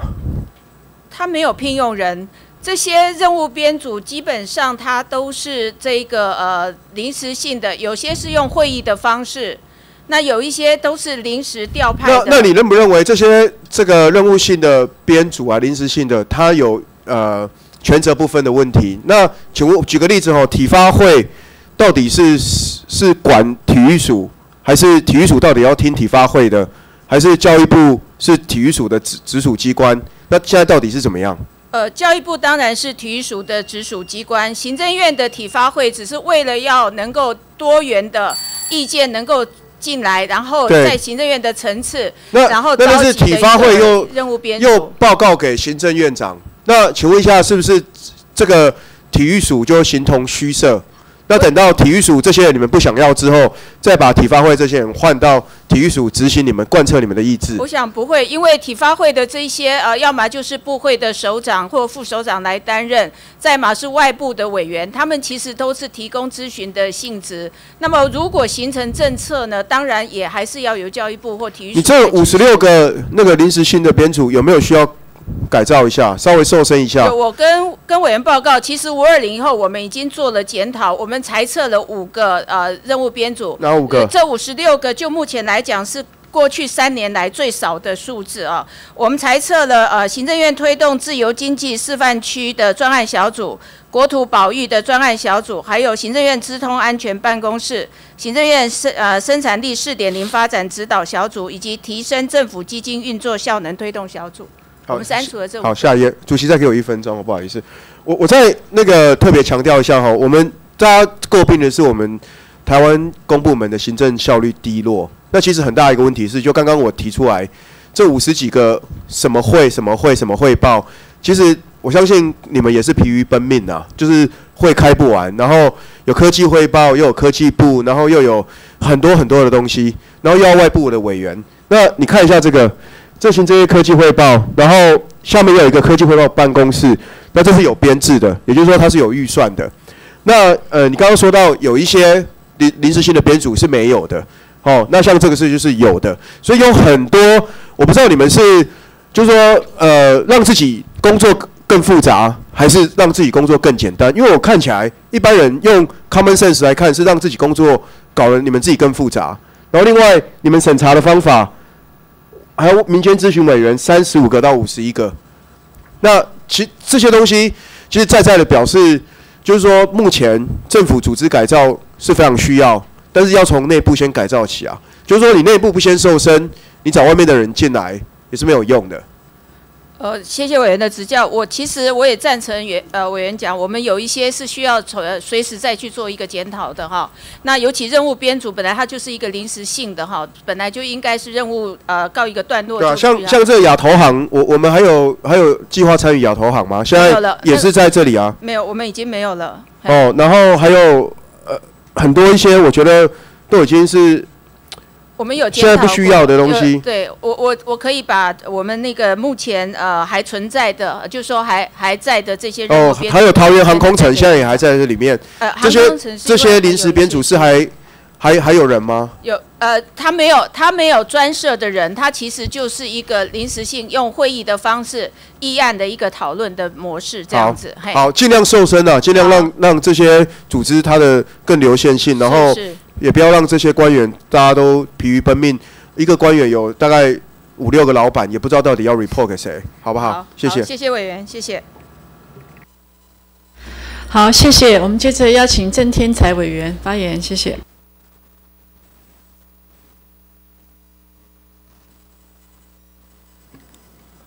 呃，有请呃主席、各位委员啊，有请呃人事长。请施人市长，还有前系部的次长，请林次长。林市长好，你好。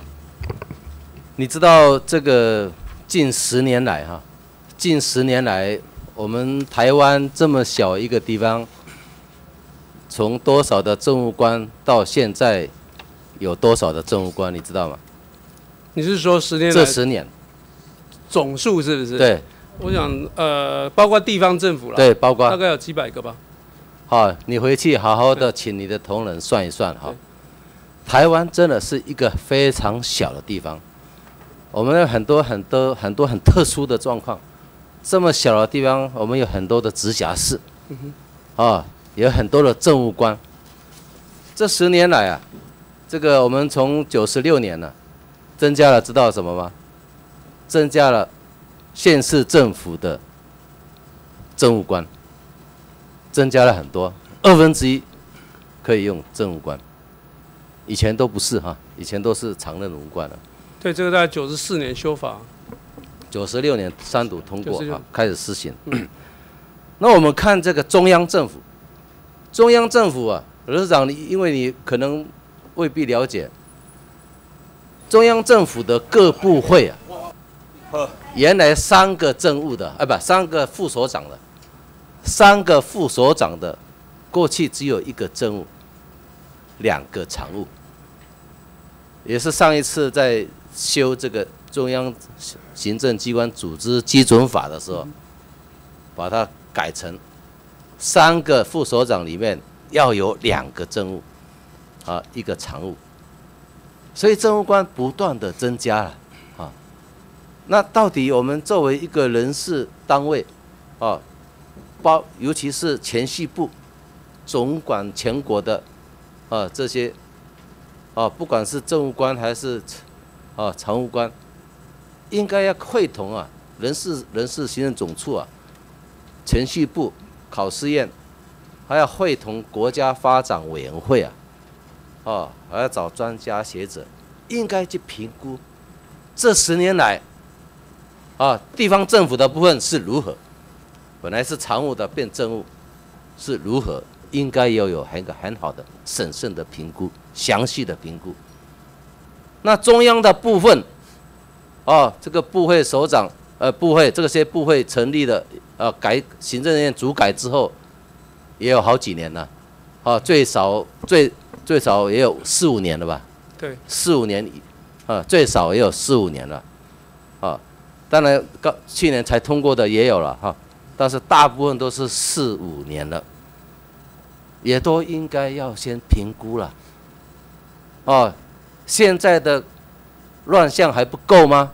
我们作为一个人事的人事长，作为一个前序部，作为一个考试院，真的要评估？难道常任文官就这么不好用吗？啊？当然，常任无关也有不好的，但是我们是怎么样去？我们人事法规很多嘛，哦，相关考试院也很多嘛，哦，事实上都没有评估。哇，想做就做，我看到的是这样。我三十年公务人员退休，在当立法委员，加上今今年第五年了，我看到的是这样。到底应该要如何？这个方向应该是如何？没有评估就端出来，很多的政策就是如此。很奇怪的就是，啊，你们作为人事的，地方政府改的时候，你们不用改啊。人事人事法律有那么啊，有那么艰深吗？人事法令，结果地方政府人事。还是照你的人事法令呢？呃，他可以不用政务官了，主计也是一样，说不定这个是一个不好的，也应该评估啊，对不对？也应该评估啊。刘市长，你的意见如何？呃，谢谢委员的指教，我想。任何一个政府一定有政务体系跟文官体系嘛，只是说这个中间的比例应该怎么拿呢？还有什么样位置比较适合由政务来担任，或者是甚至双轨制？那中央地方政府其实都面临这个这样一个议题。那我想台湾整个配合民主政治越来越政党竞争，我觉得这大概是一个趋势啦。政务的。人员一定会稍微增加一点，因为他要负担各式各样业务的一个最后的一个决定嘛。那所以这个部分，呃，我想过去也大概都是往这个方向在走。不过委员指教就是说，我们是是可以来做一些呃更进一步了解，说实际上，比如像在地方政府的运作状况怎么，包括我们中央政府的运作状况是什么。我想这个我们都可以再来深入做一些了解。任市长，我跟你说明了，因为没有评估。但是实际上，这些很多的业务，就是需要常任文官来做。所以有很多的这个状况是怎么样呢？次长、常务次长，哦，本来是两个常务次长的，啊，现在变两个政务。而事实上，这些业务、这些工作，有些部会的工作，就是需要常任文官一步一步的上来。甚至这个三级机关的首长做完之后去当常务次长，结果因为一改之后啊，常务次长要变政务次长，哎，找不到这样的人，导致就只好从常务里面升上来，他非常不愿意的升上来，为什么？有没有给他很好的配套措施？这些常务常务的本来是常常务的这个啊常任文官，变了政务的次长之后啊，年资又不能衔接，年资就没有了，完全没有年资。地方政府也是一样，本来是县，台北县变成啊变成直辖市，大大桃园哎桃园县变成大桃园市，台中县市合并变成台中市。有很多的那个本来的组长啊，把那个组那个是以前叫处长或者是或者局长，要变成政务官，但是这些市长需要他们，勉为其难当当了这些局局处所长，结果呢，年资没有办法并用，也没有配套，所以非常乱。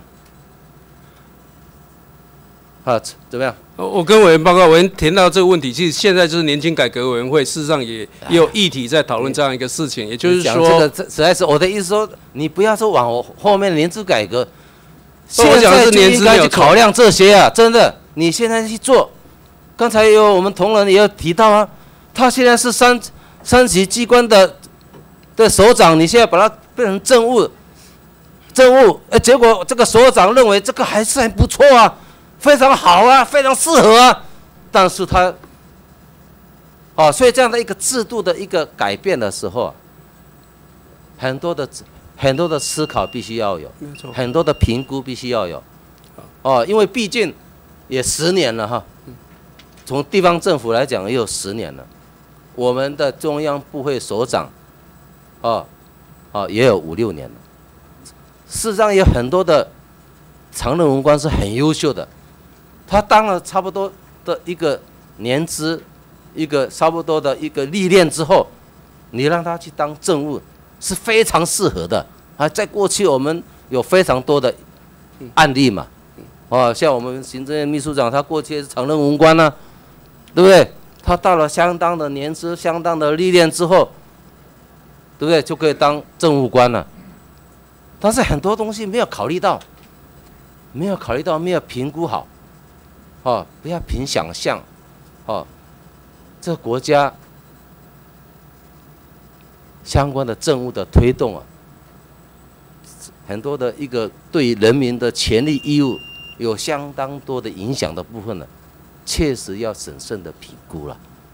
哦，作为一个人事长，哦，你是政务官没有错，但是你必须考虑到整个，哦，全国的部分，哦，尤其是考试院。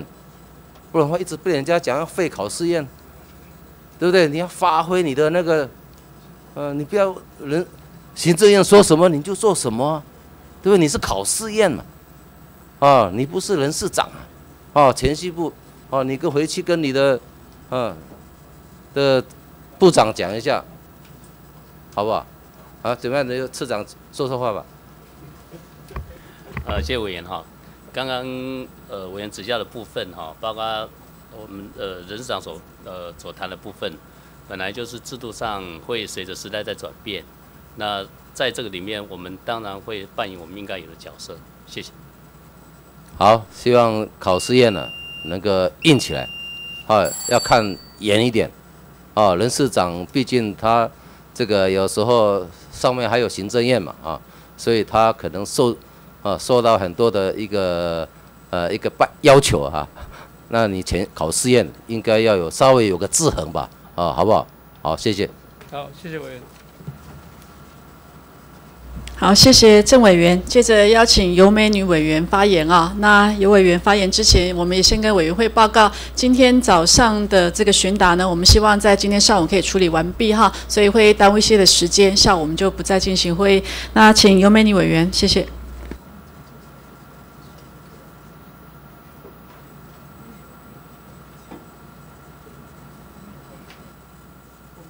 嗯，主主席，还有我们所有在场的委员，以及所有列席的政府官员，大家午安，大家好。主席，有事可以请我们的呃任市长啊，是能请任市长。委员好。哎，是人事长好哈。呃，我们知道说新的政府上台之后，其实有很多新的政策尤其是呢，就是说这些新的政策其实是需要有一些翻转的概念。那这些翻转的概念，对一些就就是说原来在官僚体系里面的这些的公务员。他们不见得有这些新的思想，或是这些翻转的概念，所以呢，这里就会发生的，就是说，好，这个新的政府，或者说，好，今天小英总统的一些的政见，那原来是一个比较前进的、比较一些新的一个思维。但是呢，到了这执行的时候呢，因为大家没有这样所谓的翻转的一个概念呢，所以它仍然会是所谓的新品装旧酒。所以在这里呢，就牵涉到了，就是说，好，对于这些的政策，好，在这个所谓的规划或者说在啊这个执行上面，它需要有一些不同的概念，或是说它能够在这方面是更专精的。那我们也知道说，在台湾，我们台湾最强的其实是啊民间团体。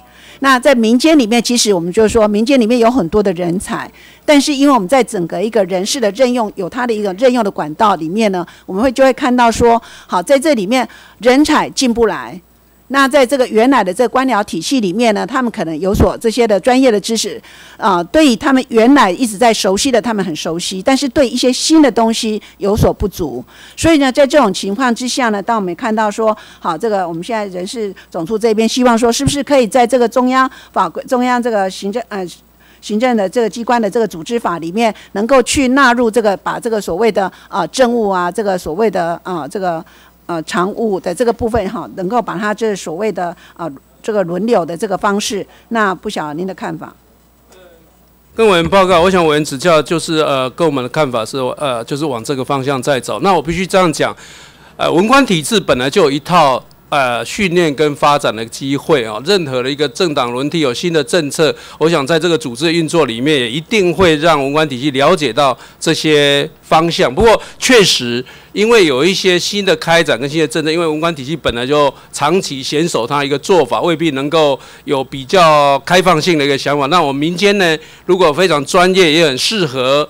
那也配合我们整个呃国家发展的一个需要，我想有透过这样一个制度的一个呃比较弹性，能够让民间的专业人人力能够进到政府部门来服务，我想这也是一个好，这是是一个很好的方式。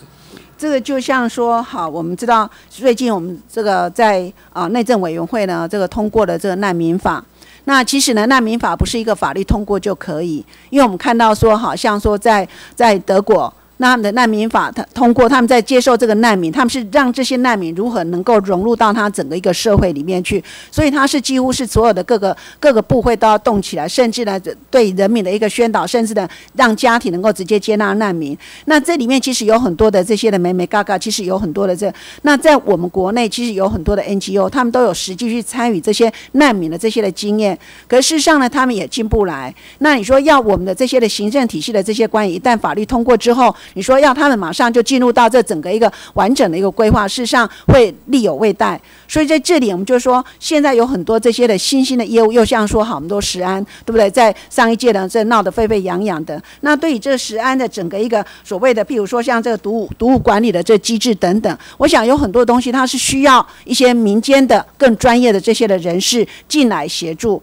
所以在这里呢，就是说对于这人事的管道的一个运用呢，它可能就需要更加的弹性。那当然。呢，这里的啊，就是啊，国民党的党的这个立委呢，他们会担心说，哎，那你会不会把这个整个一个啊文官的这个体系呢，把它破坏掉？你会不会把原来都是属于啊事务官的，那事务官他其实有一定的正进阶的管道，结果你在这个三级的这个部分就把它 cut 掉了，那就会变成会这个文官呢，他的一个升迁会变成我只能够到这个地方就就没了。所以在这个部分，你们怎么样去防止？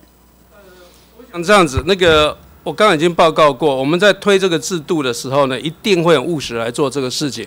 在我们现在一百多个三级机关里面，我们一定不会有太多比例呢，就是说马上就说这双轨制。那即使是双轨制，也未必一定是会用政务，因为呢，部会首长还是会根据他的一个需要。如果他觉得他本来的文官呢是非常非常专业，也也有担当性，我想让他来作为协助做一种啊比较是决策性的工作。我想。这个部会首长还是会用他一个方式。那至于说，即使有一小部分变成政务跟常务这个类似这个双轨，我们的文官升迁也不会只有在三级机关。我们部会本身还是有很重要的职务呢。我们目前都是文官职。我我的意思在讲是说，这两件事情呢，其实没有必要一定就是说很担心说。呃这个制度推动，文官就没有升迁的一个机会。我我想做这样一个报告。好，那当然，另外一点呢，就是说，在我们的立法，因为原则上，其实文官他是一个中立的，所以他其实是不需要面对这个所谓的民意民意代表来质询。但是呢，因为我们看到说，现在很多的这文官，尤其在三级的这个位置，有些他其实是站在一个做决策的这个位置，所以在这种情形之下，我们就变成说，不得不要求这些的。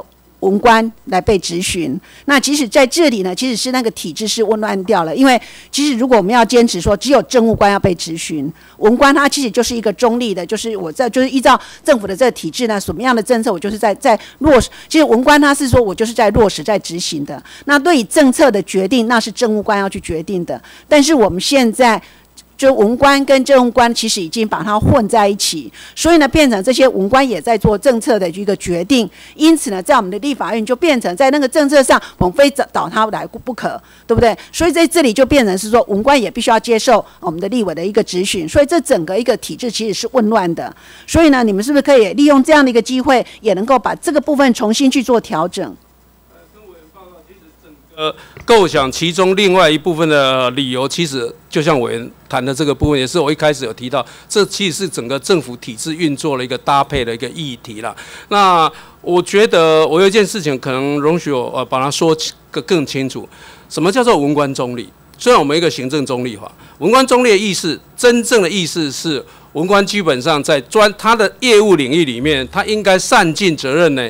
向政务首长啊提供各式各样的政政策分析跟专业报告，可是当最后做决定的时候，一定是叫做这个政务首长必须下一个决定，那文官就忠实的去执行。那我觉得以这个概念来谈的话，即使是我们把三级机关做部分的政务跟常务的一个一个双轨制，用政务任用，我觉得它更是在确保呢，也不影响文官中立，因为他还是有义务呢，在他的一个跟他的一个一个政务首长的报告呢。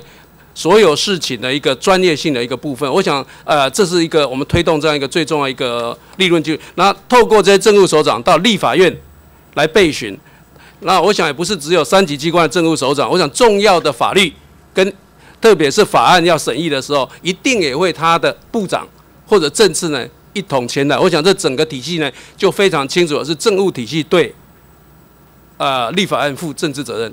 嗯哼。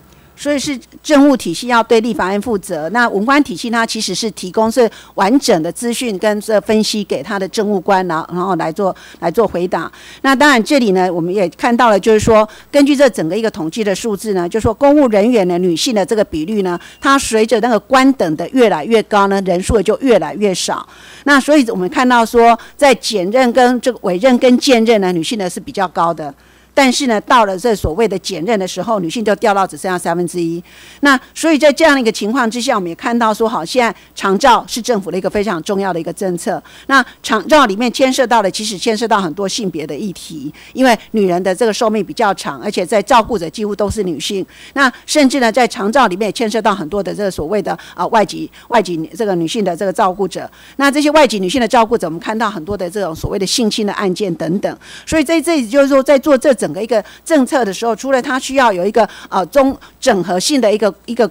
嗯，还有一个高度的一个思索以外呢，其实另外一个所谓的性别意识，当他能够去看到这些的问题的时候，他在做政策才会有具有性别意识的这些政策出来。但是呢，我们会看到说，在这整个一个文官体系里面，女性呢到了检任呢，她显然就掉下来了。所以呢，我们会看到，所以在这样的情况之下啊，您如何呢能够让？当然，我们也要求说，政府呢在这个所谓的啊这个啊单一性别哈不得低于三分之一。那现在呢，就说在这个所谓的三级的这机构里面。好，那在政务哈这个所谓的啊政务常务的这任用上面，你们如何能够让他也能够所谓的单一性别不得低于三分之一？委员报，因为这涉及人事法规了，如果要强迫规定说比例，可能这个涉及到考试院的执掌。不过站在行政院的立场，我想跟委员报告，在那个行政院这次修的类似这个呃性评会里面有一些指标哈，那我就跟我们同仁讲是说，其中有一些指标就应该把，譬如像说。三级机关以上的正副首长，他的女性比例，好，当做是我们指标之一。那那个指标，我们可以给他给他稍微高一点的权重，来鼓励大家呢。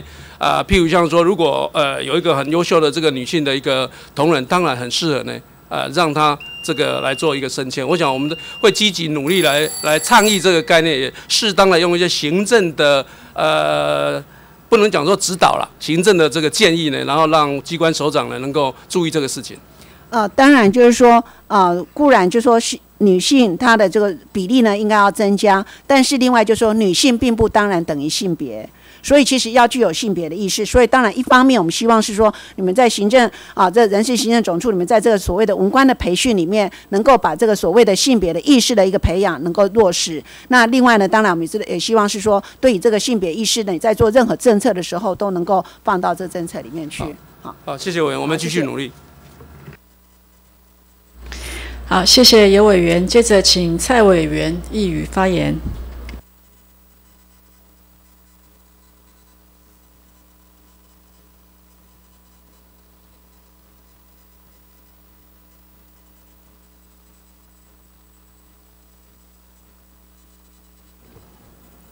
嗯，我们先请秘书长，请陈秘书长。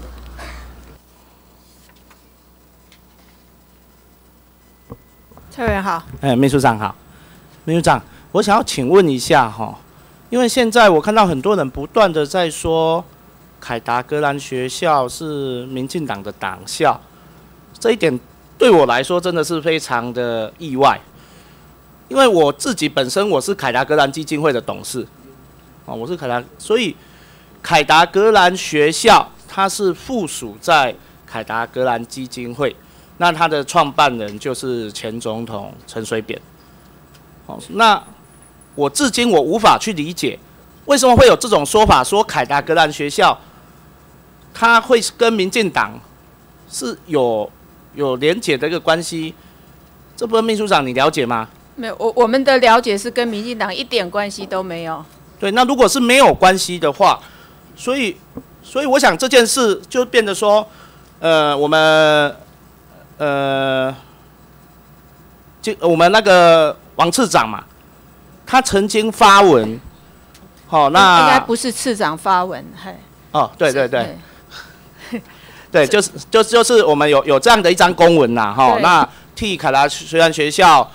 好，去凯达格兰学校，诶，去去鼓励说，哦，这个招生。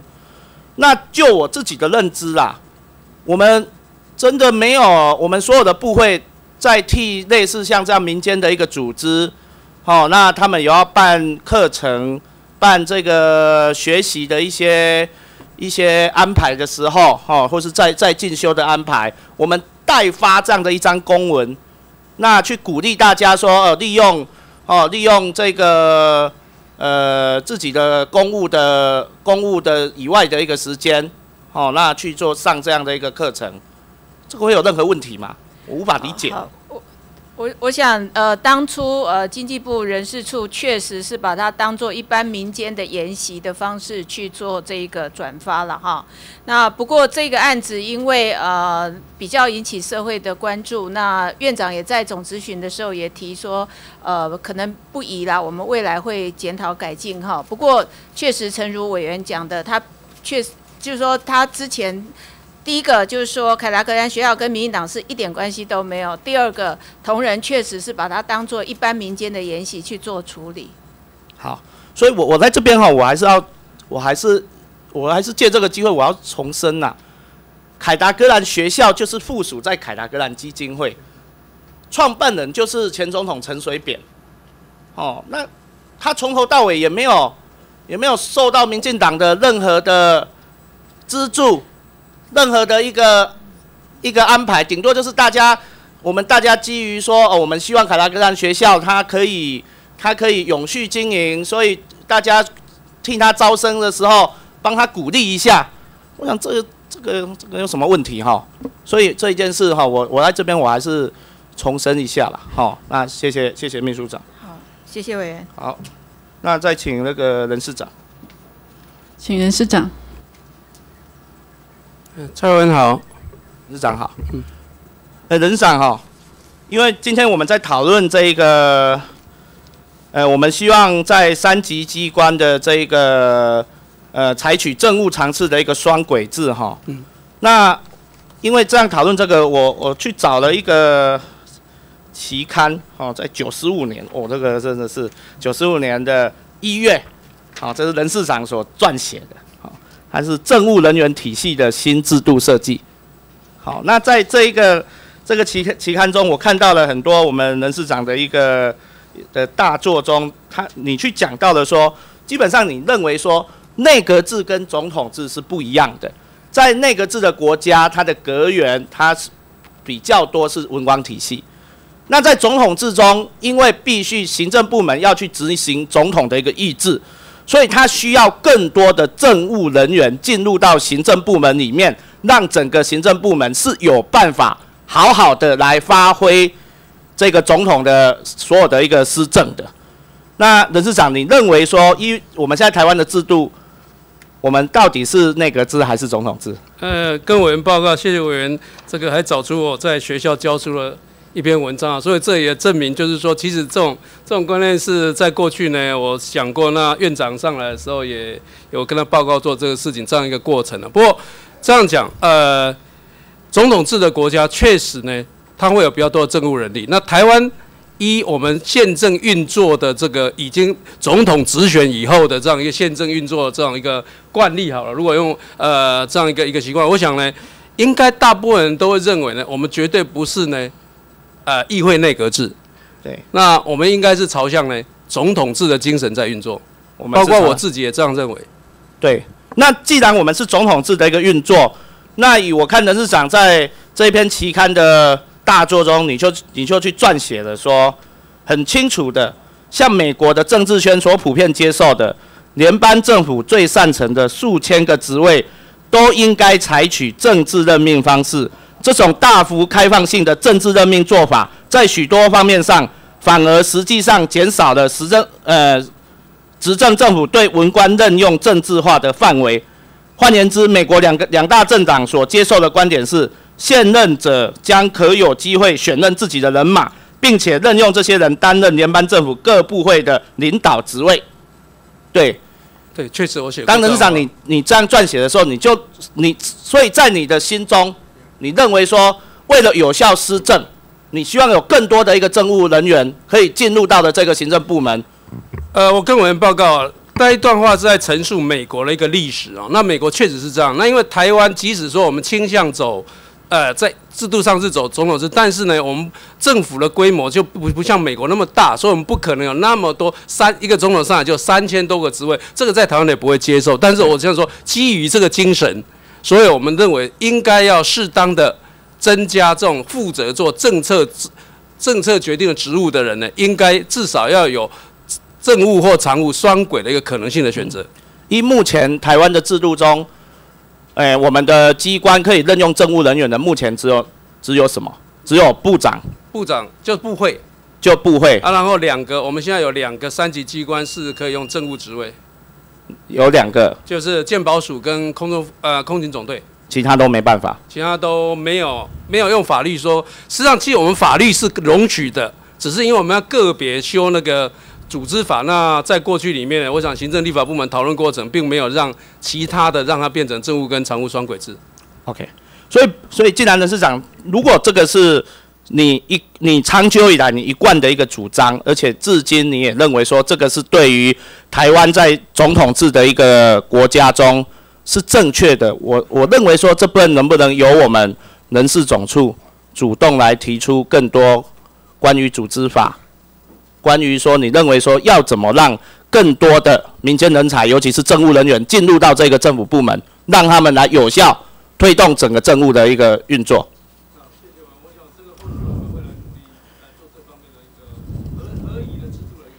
那第二点哈，我想要请问人事长哈，你们现在跟考试院的关系到底是怎样？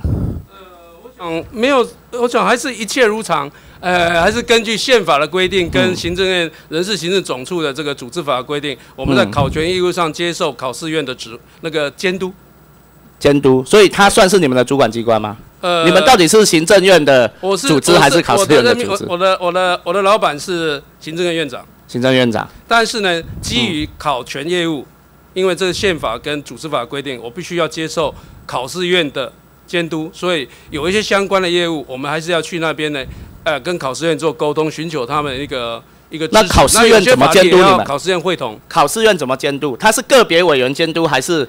呃，我想考试院方式就是他院会嘛。那院会的时候，我还是要去。我一个礼，因为刚好院会时间跟行政院院会时间相同，那考试院也特别体谅，所以让我呢一个月只要去一次做业务报告。那在不管我们在考试院院会做业务报告，或者是考试院有些审查会过程里面，我们都也会去做一些同仁一起去做一些业务上的一些沟通。我想大概透过这个方式。不过我还是要讲，只要是法律的。人事法令的一个东西，这个就不是我主管，我们可以表达意见，因为主管机关就还是在考试员。我想应该是这样的。我希望你们更勇于表示意见呐。呃，会，我我对，因为毕竟你们才是真正专业的。如果站在文官的一个体体系中，人事总处，你们才是真正可以了解所有的行政机关，所有的一个行政部门的这样的一个人员，他们是怎么样去去运作。您是上了解，您是卡在第一线呢。考试院高高在上啊。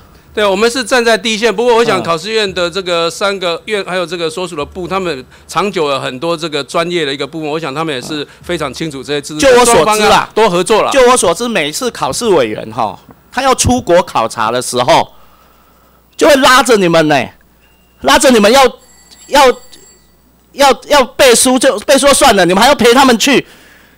对啊，我我我觉得这很奇怪呢。哎，你们可以跟他说 no 吗？好像不可以哈。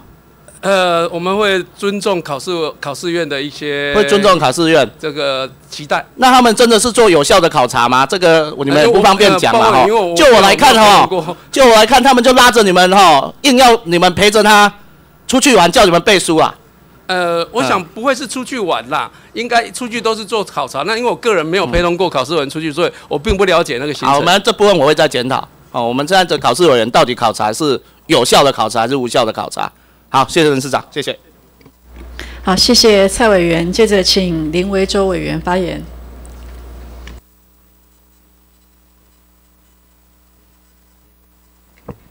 呃，主席，请任市长。嗯，请示任市长。呃，请教哈，任市长哦，这个三级机关呃改为政务任用，那原来这些三级机关的文官这些主管哈，他们会如果任用了三呃政务任用之后，他们会去哪里啊？呃，跟委员报告，因为我们不是把三级机关改成政务任用，是政务跟常务都可以用。那今天假设有一个情况，就是他本来是一个，你把它改成，比如说一半呐，哦也好了，都不会不管比例多少了，不管比例多少，就说你把原来常务任用的改成政务任用，那原来这个常务的三级主管他会去哪里？呃，我想一个部会呢，基基本上一个双轨制的哈。如果说他选择是使用政务，那本来那个位置是常务。使用对不？那我们的部会首长判断就是说，以后要改成叫做先用政务。那原来的常务的一个，你还是要找一个位置给他嘛？对，就就会一定会有另外工作上的指派。对，我的意思就是说，改成政务任用之后，这些三级机关原来的常务官呐，他还我们政府还是要保障他的公务人员资格、公务人员的工作权，所以还是要给他工作，给他另外一个位置。所以，第一个，这个会造成啊人事费用的再一次的膨胀了，因为多了人进去，但是原来的人还是要给他一个位置，甚至他变成冗员了，因为他要调到比其他的单位去做他原来他没有做过的事情，这是第一点，就是说这样子的制度啊，好，在我们。一直要精简人事、控制总预算、人事经费的这样子的前前提之下，是背道而驰的，是增加了政务任用，但是原来常务的常务官还是要给他位置，还是要给他那一份薪水，还是要给他公务人员的待遇啊，将来还是要领退休金的，啊，所以这是第一点。第二点哦，我从这个希望哦，从比较高的。宏观的角度来探讨这个问题啊，请问任市长，在全世界的各国的政府的状况，政务任用比较多的国家是哪一些国家？是最最最典型的吧？好，刚刚我也在台下有听到哈，就是美国是标准的总统制嘛，所以它的政务任用是很多的啊。这个它代表的意义是什么？我想它代表意义主要还是在，其实美国很清楚的认为说，一个政党政治下，既然人民选出了一个执政的政党，就要让他在政策领域上呢，有人呢去扮演他那个角色，变成这个 team。嗯，我想他基本上逻辑就是这样一个方式，就是政党政治啊。对，好，他要完全负责。对，然后完全让他有更大的权利去执行他的政策。他也要为他的政策来负责，没错。哦，我想主要是意义在这里了哈。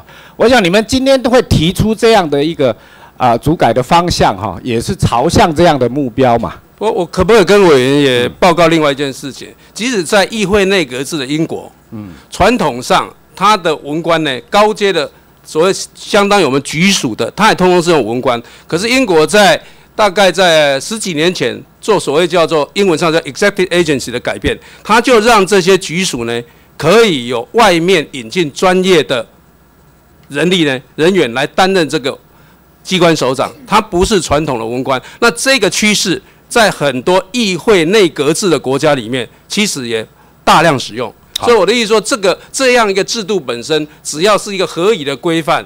其实这是一个任何一个民主政治国家里面呢，他们有不同的思考逻辑，但是得到呢，大概很很趋同的做法。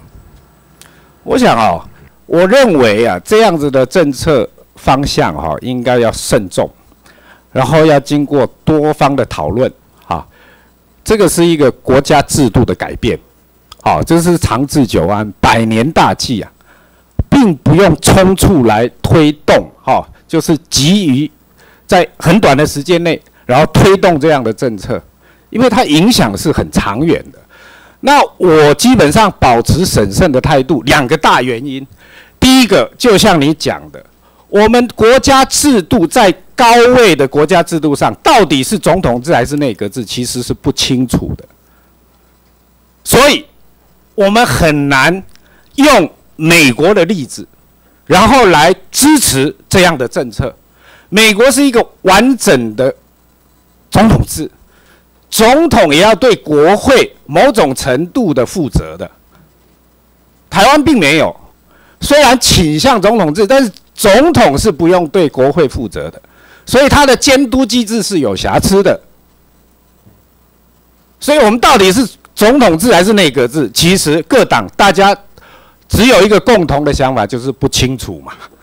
目前的制度宪政体制就是如此，所以在这样的情况之下，不应该用美国的制度来支持这样子的改变。我觉得这样的逻辑是要值得被检讨的。除非我们已经变成完整的总统制，这样子总统要受到国会的某种机监督的机制。好，OK，Winner takes all，你赢了，你全拿。你要全部负责，而且有监督的机制，所有的政务官也要受到，包括从总统开始到所有的政务官受到国会的监督。这样子，我我同意，我也支持，这样符合民主的精神。这是第一个第一点，我认为要慎重的原因呐，因为我们的上位的宪政体制是不清楚的。第二点，包括我们的宪法争议。其实是严重分歧的，到底是两国还是一国？有的大法官已经支持两国论，否定中华民国。刚刚我们讲的是人的问题，就是也是制度，关于行政院长跟总统的权责是分不太清楚，他尤其在 check balance 这样的机制是不清楚的。另外，我们的宪法也是在争议的争议当中的。各党有不同的想象，宪法是所有法的最后的基础跟依据。当我们的行政人员所谓常务的文官体制，它最重要的要做的事情是依法行政嘛。但是你如果把太多的这个常务官改成政务官，他有他的政党意识，当。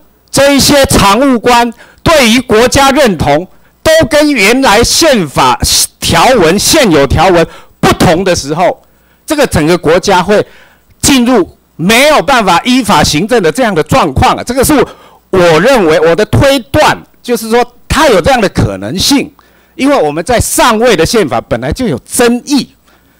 那你要叫这些，如果是原来的文官体制，它就是依法行政，现有的法律规定、条文规定怎么样，就是怎么做。但是当法律有这么大的争议的时候，政务官他可能会依据政党的意识形态去做判断，在政策的决策方面，可能很有可能会跟现有法律有所抵触或矛盾，这只是会徒增我们文官体制的混乱。这个这一点呢，我也是有一些疑虑的。这一点你有什么看法？我想还是谢谢委员的指教。所以委员刚刚提到说，规划任何一个制度，即使这个制度本来法律就有，那我们要去调整它，都要很慎重。其实我们是真的很慎重在谈这个问题。所以我刚刚虽然举的美国的例子跟英国的议会内阁制的例子，所以我只跟委员报告说，我们立论基础不敢使用美国那么极端。那我们也了解到，其实议会内阁制，它也开始在说，让文官体系呢有一些外面更多的弹性呢的人可以进来，所以其实是很务实的在讲这个事情，所以做一个弹性的一个机制，说在台湾我们是不是可以把本来呢完全是没有弹性的机制呢，适当的给一定的比例，然后来来来来来来提供给三级机关可以说政务跟常务的一个方式的运作，这个也不是完全走美国的方式，也不是完全走。因果的一个方式，只是说务实的看待台湾的这个演进过程。那我想我们做这样一个建议，所以我们提出一个观察了哈。当然，批评者包括媒体，哦，不只是政党、其他政党委员的批评了哈。到底这样的制度改革方向是为了提供更多的机会、更多的缺给现在的执政党这样子的负面批判？还是为了国家的长治久安，定定一个更符合台湾现状、符合国家未来的一个政策，到底是长远的计划，还是只是所向媒体或是其他政党所批评的，只是要占更多缺？我们一个观察点就很简单嘛，到底你们推动是慎重的，是经过开公听会的，经过。完整讨论的，还是匆促的想要进到立法院，想要进到委员会，想要赶快给他通过，像一修一立这样子的做法，我们就来观察吧，到底是为长治久安来做，还是为了提供更多的肥缺？谢谢。跟委员报告，我想这是我们现在在做内部不断的这个机关之间的一个讨论，所以当我们讨论成熟的时候呢，才会循行政程序呢送法案出来。谢谢。好，谢谢任市长，谢谢林委员。呃，接着黄伟哲，黄伟哲，黄伟哲委员不在，那有请刘世芳委员发言。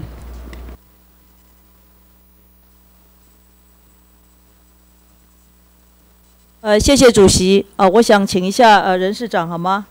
是任市长。那同时，我想请一下内政部次长，还有经济部是次长吗？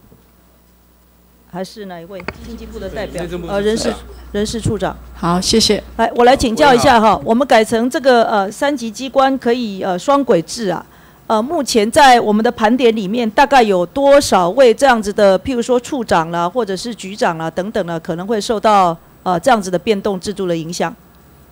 呃，跟委员报告细节，说真的，我还没还没有真正盘点说多少，我们还是谈一个大原则。哎，我先讲那个部会的司处长是不会的，就是三级的局，我们称为局长或署长这个职位才可能会。独立的机关嘛。我想我们不会设定太高的比例的。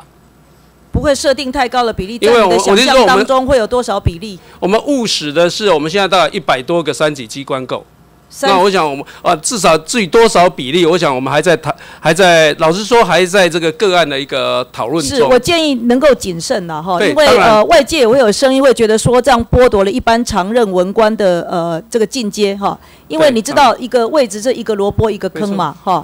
你如果譬如说检建委这样排下来的话，有一个检任出缺的话，后面的当然就会依序前进嘛，哈。他们现在觉得说好像到了干到一个副呃副的主管的位置就没了哈，但是他忘了说，在我们很多政务任命里面呢，现在我们的呃林权内阁里面也有相当多自己本身也是常务文官上来的，譬如说外交部长、公共工程委员会的主任委员等等这些了哈。但是是不是会受到影响？我觉得是会的了哈。呃，任市长，你请休息，我请一下内政部次长哈。次长，您本身是一般的常任文官嘛哈，非常优秀。那如果内政部未来有相关的这些局处单位会受到影响，变成是双轨制的话，内政部是哪一些机关会受到影响？呃，事实上，在内政部组织法，现在所所属三机关已经有五个已经通过了哈。哪五个？呃，空中勤务总队，然后呃。呃，包括那个警政署下面的空中还没有，警政署还有消防署，还有那个移民署还没有通完全通过。对，警政署、消防署跟移民署还没有通过，意思就是说还会去讨论有没有可能通过。以后警政署就不用是警大毕业的喽，可能是呃警大的这些教授也可以是吗？对不起，委员，我修正一下哈，应该是国土规国土管理署没有通过，移民署已经完成立法了。那么警政署的部分，因为它涉及到司法权的问题哈，这部分是不是政务跟常务可以双轨任用？这个我们要多一点讨论。所以很审慎来评估嘛，哈。是是是。那营建署呢？营营建署未来是改成国土规划管理署。国土管理署。目前我们原来的规划里面就有双轨任用的一个机制。那我可不可以请教一下，如果这些署长换了一般的呃，就是非呃一般的常任文官，而是变成政务官的时候，那他要不要随着部长同进退？理论上应该是要。理论上哦，不，你不要讲理论上。你知道我们现在有些，你知道有些人就是。站着茅坑不拉屎嘛，对不对？有一些什么什么什么什么某某董事长啦，某某外交官啦，就说不是他一定要做满四年，要做好跟做满哈。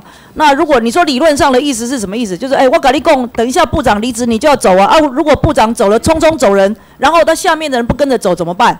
那我的意思就是说，如果你要用政务官哈这样的职缺的话来代替，或者是说双轨来并用，一定有它政治性的考量，它一定要能够切合民选总统里面的相关的政务嘛。那理论上要这是什么意思？什么叫理论上？我我想跟委员报告了，我想呃理论上可能是一个我们一般性的用，不过实务上一定得要同进退嘛。因为既然如果在特定的时间把它界定是叫政务职位的人，那我想。这个政务职位的人，如果内阁总辞，当然是应该要总辞的。说他到底是政务还是机要？因为政务，他是政务。我跟你这样讲一下，政务职位，机要一定会跟部长同进退，对不对？可是政务的，我我跟你讲，你还是要弄清楚，机要一定要，譬如说你部长旁边一个机要秘书，只是负责公文的这个批发流程等等这些，那当然会跟着走人嘛。那没意见，到人事处的时候，大家都签个画押嘛。那万一署长跟部那个什么什么长或者什么委员、什么主任不要跟着走，像现在的状况，你怎么办？你你你还是要把这些退场机制弄清楚啊。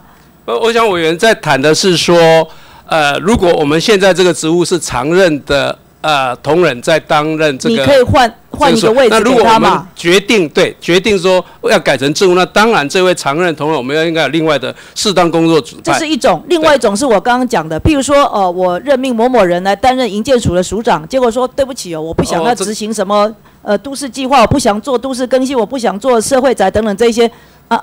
那他就不适合当政务团队。但是部长请他离开就离开，但是如果部长以后离开，他是不是要跟着部长也要提类似像总辞的概念？对，它是一个总辞的概念。要弄清楚哦，我希望把退场机制白纸黑字写清楚，好吗？哈，那我来问一下经济部，经济部现在有哪一些呃相关的这个呃署或者是局或者是处是跟着会做改变的，变成双轨制的？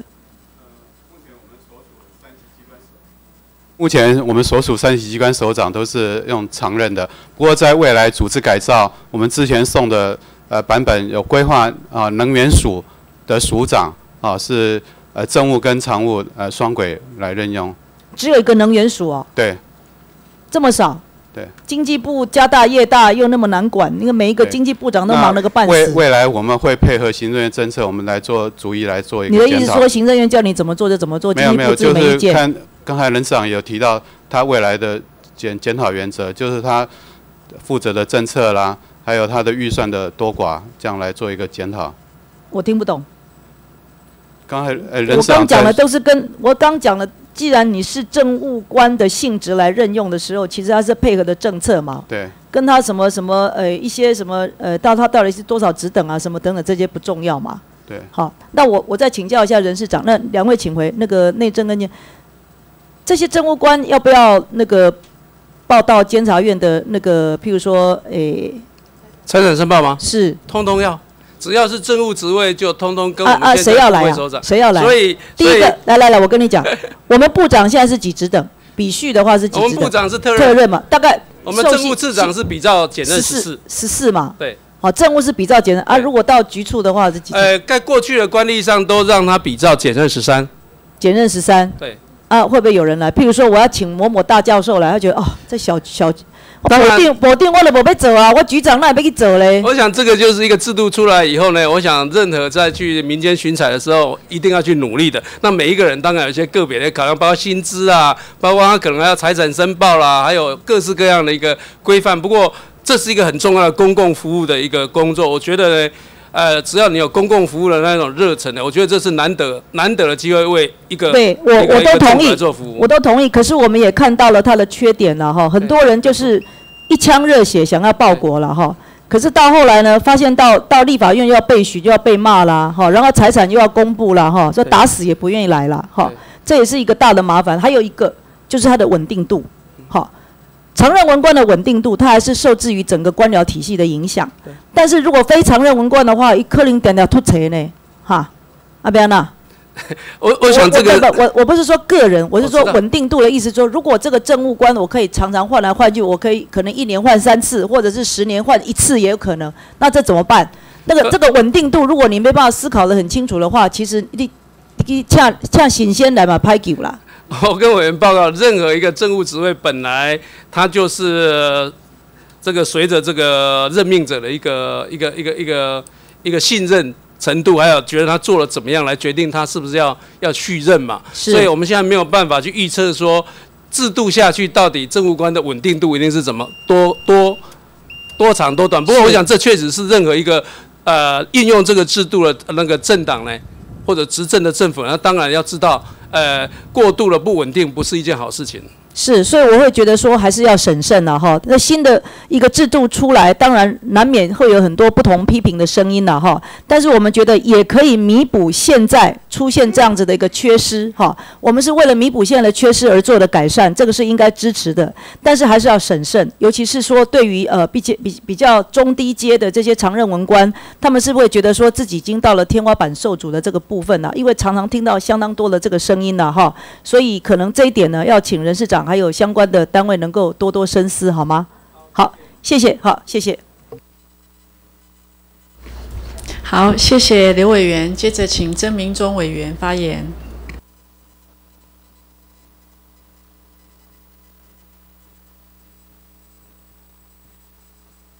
呃，谢谢主席。麻烦请人事长、全序部林次长、农委会黄副主委。好，请。呃，点到名的，请嗯、自己上台就可以了。是。呃，就今天的主题有关呃第三级的机关要不要采用政务人员的部分，其实我跟刘委员的看法一样，偏向保守。但是之前呢，我先跟各位讨教个问题。呃，人事长或者全序部林次长，我们政府要不要依法行政？哦，当然，如果法律有规定，应该依法行政。林市长，当然依法行政。好，我们看下一个，陈副主委，林市长，他可以兼任台委董事长吗？明确的答啊。他是兼代。好，什么叫兼代？我跟你讲哦，全序部权责已经不多，碰到你的权责，你又不敢打。当什么？当你你不足以代理代表全序部来这里表示意见，问您可不可以？什么叫兼代？他他是农委会的副主委，就台台湾董事长就兼嘛？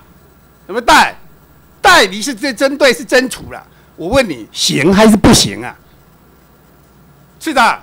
据我们所了解，他是不是兼任是兼代？问你，不管是肩带不代，行不行？如果坚韧是不行，但是他是肩带。你不要给我发明什么肩带，哪里？我不跟你讲过了吗？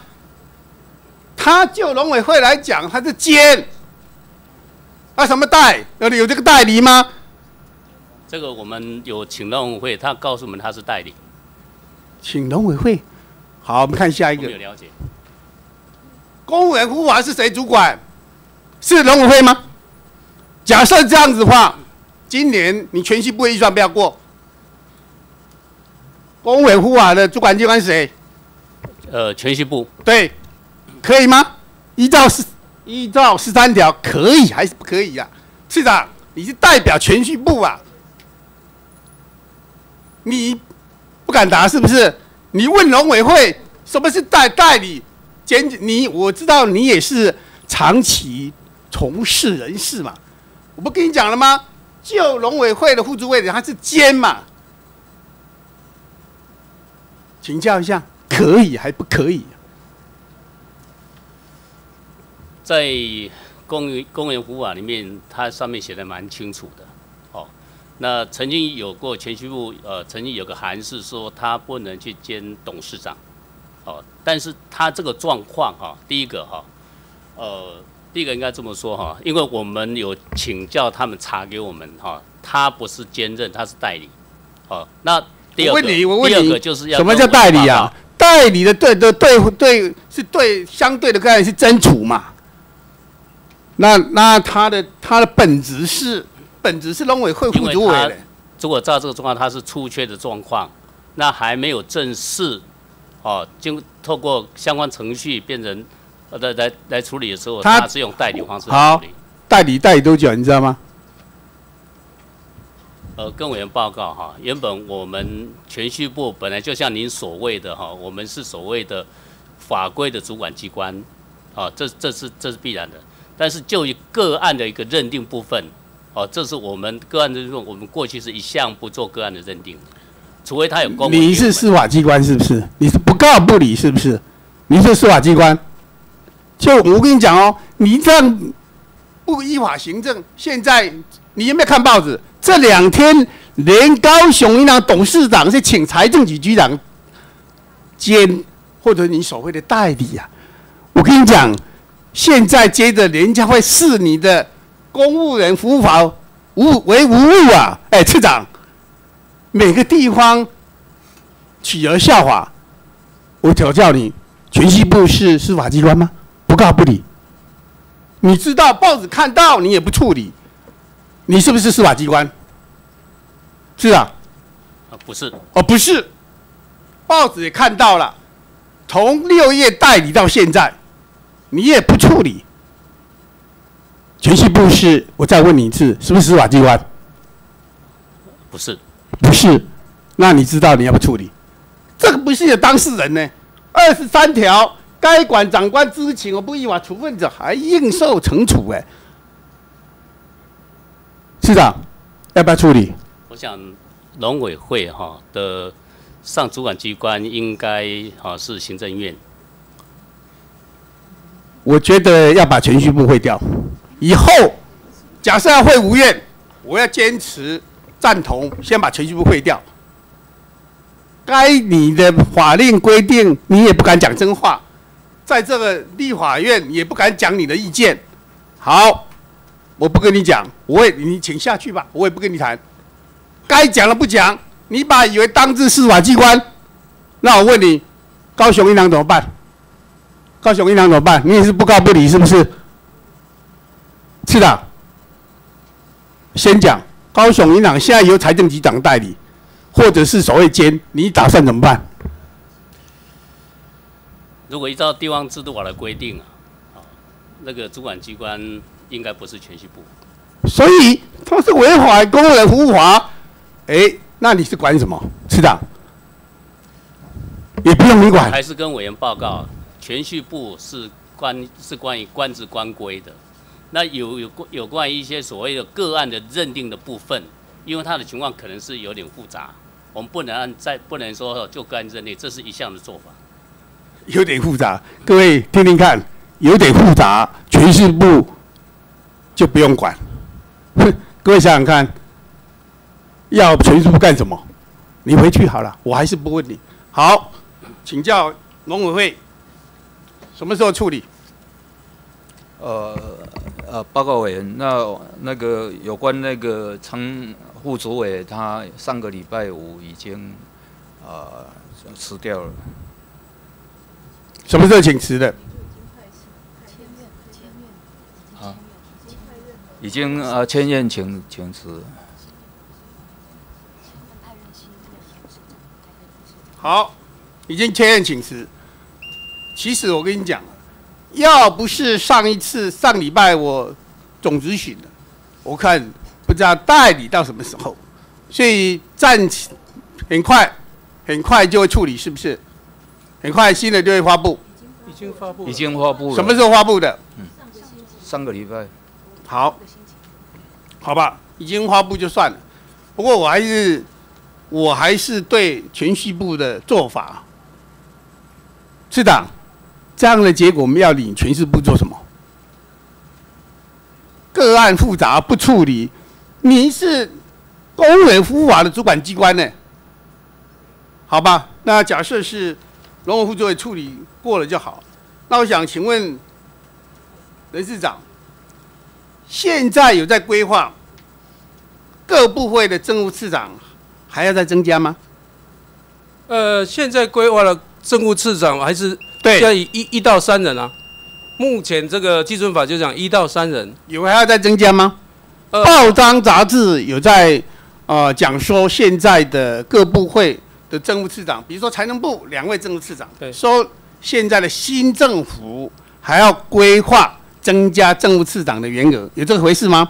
我想有在讨论这样一个事情，但所谓增加意思是在总额不变的情况下，根据部会有的部可能真的是业务超级庞大，所以我们希望呢，就有有点像是有些部不需要到两位，那有些部也许最多呢再增加一位，那在整个行政院体系里面呢，还是没有增加总额的概念里面去有这样一个讨论。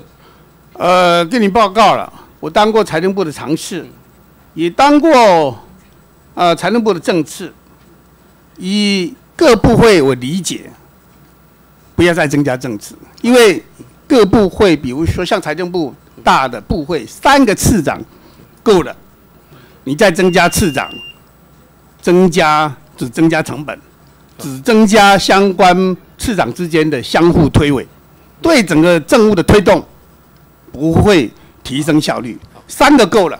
我给你报告，过去公营银行的副总。早期是三位，现在增加五位到八位，效率越来越低。真的能干的次长，你要找得到对的人才对了。你找到部长找对了，找到三位能干的次长够了，你不要再增加次长，因为越多啊，越多和尚，越多人挑水，真的没水喝。我当然我知道你们还在研究。但是你现在一下子扩充三级局长、署长可以政务官，一下又要增加次长的员额政务官，外界观感真的很不好，尤其是次长的部分，三个三个够了啦，谢谢。好，谢谢委员的指教，我们会纳入参考。好，谢谢曾委员。呃，徐永明、徐永明、徐永元，呃，委员不在，请赖瑞龙委员发言。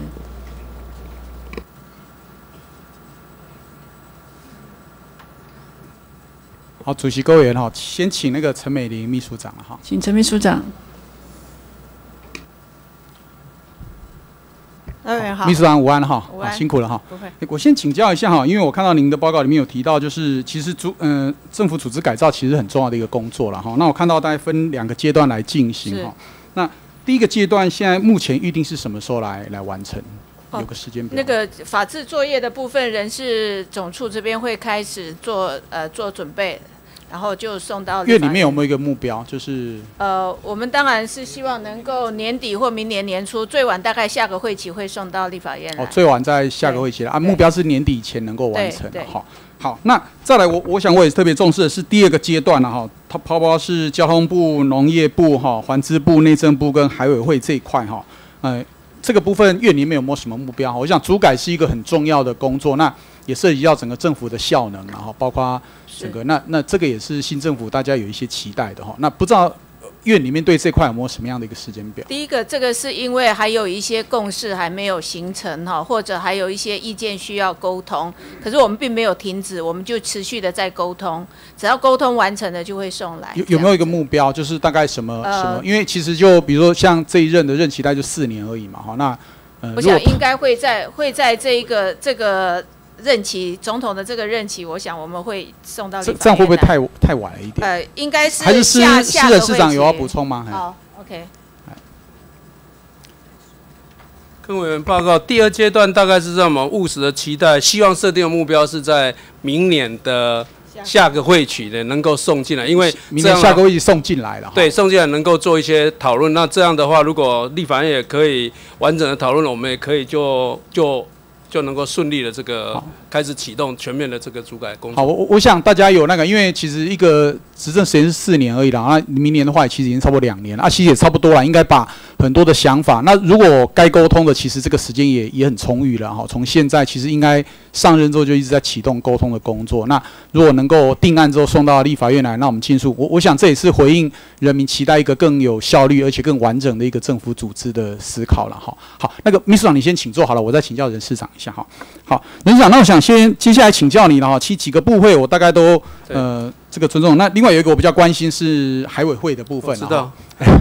因为上次总咨询有提到了哈，那因为海委会其实本来是在呃，应该这样讲，就是他在去年的六月份的时候，其实已经整个呃组织是通过的了哈，三读通过。那呃去年总统哈这个也已经公布了哈相关的组织的部分，但是呃包括其实不只是之前马英九总统了，包括现任的蔡英文蔡总统在选前的时候，他也在出席哈这个第二届海洋产业研讨会的时候。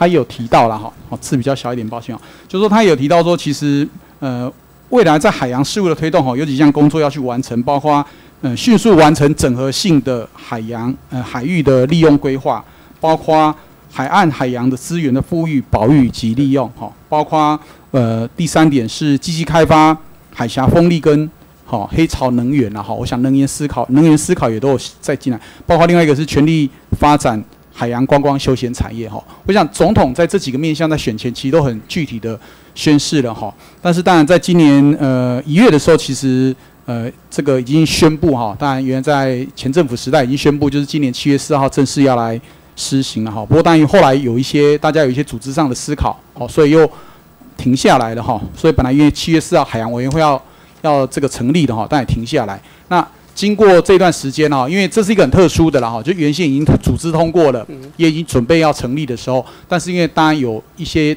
疑虑，包括我自己本身也有疑虑了哈，因为呃海洋委员会这个由海巡署占这么高的一个比例哈，还有包括它未来在研发等等，甚至于在呃我认为渔业这一块也是重要的一环哈，那没有进来哈啊，我觉得也确实有一些疑虑，但是经过了到现在为止差不多将近四个月了了哈，那我不知道。呃，任市长这边对这块有没有什么想法？什么样期程来来完成这样的一个工作？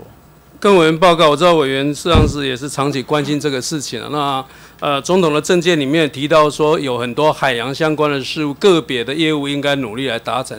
那我这样讲，这些个别业务本身呢，呃，跟组织的调整当然一定有一定程度的关系，但有些也未必一定有，一定要要这样扣在一起。不过这样子，委员刚才指教过，事实上。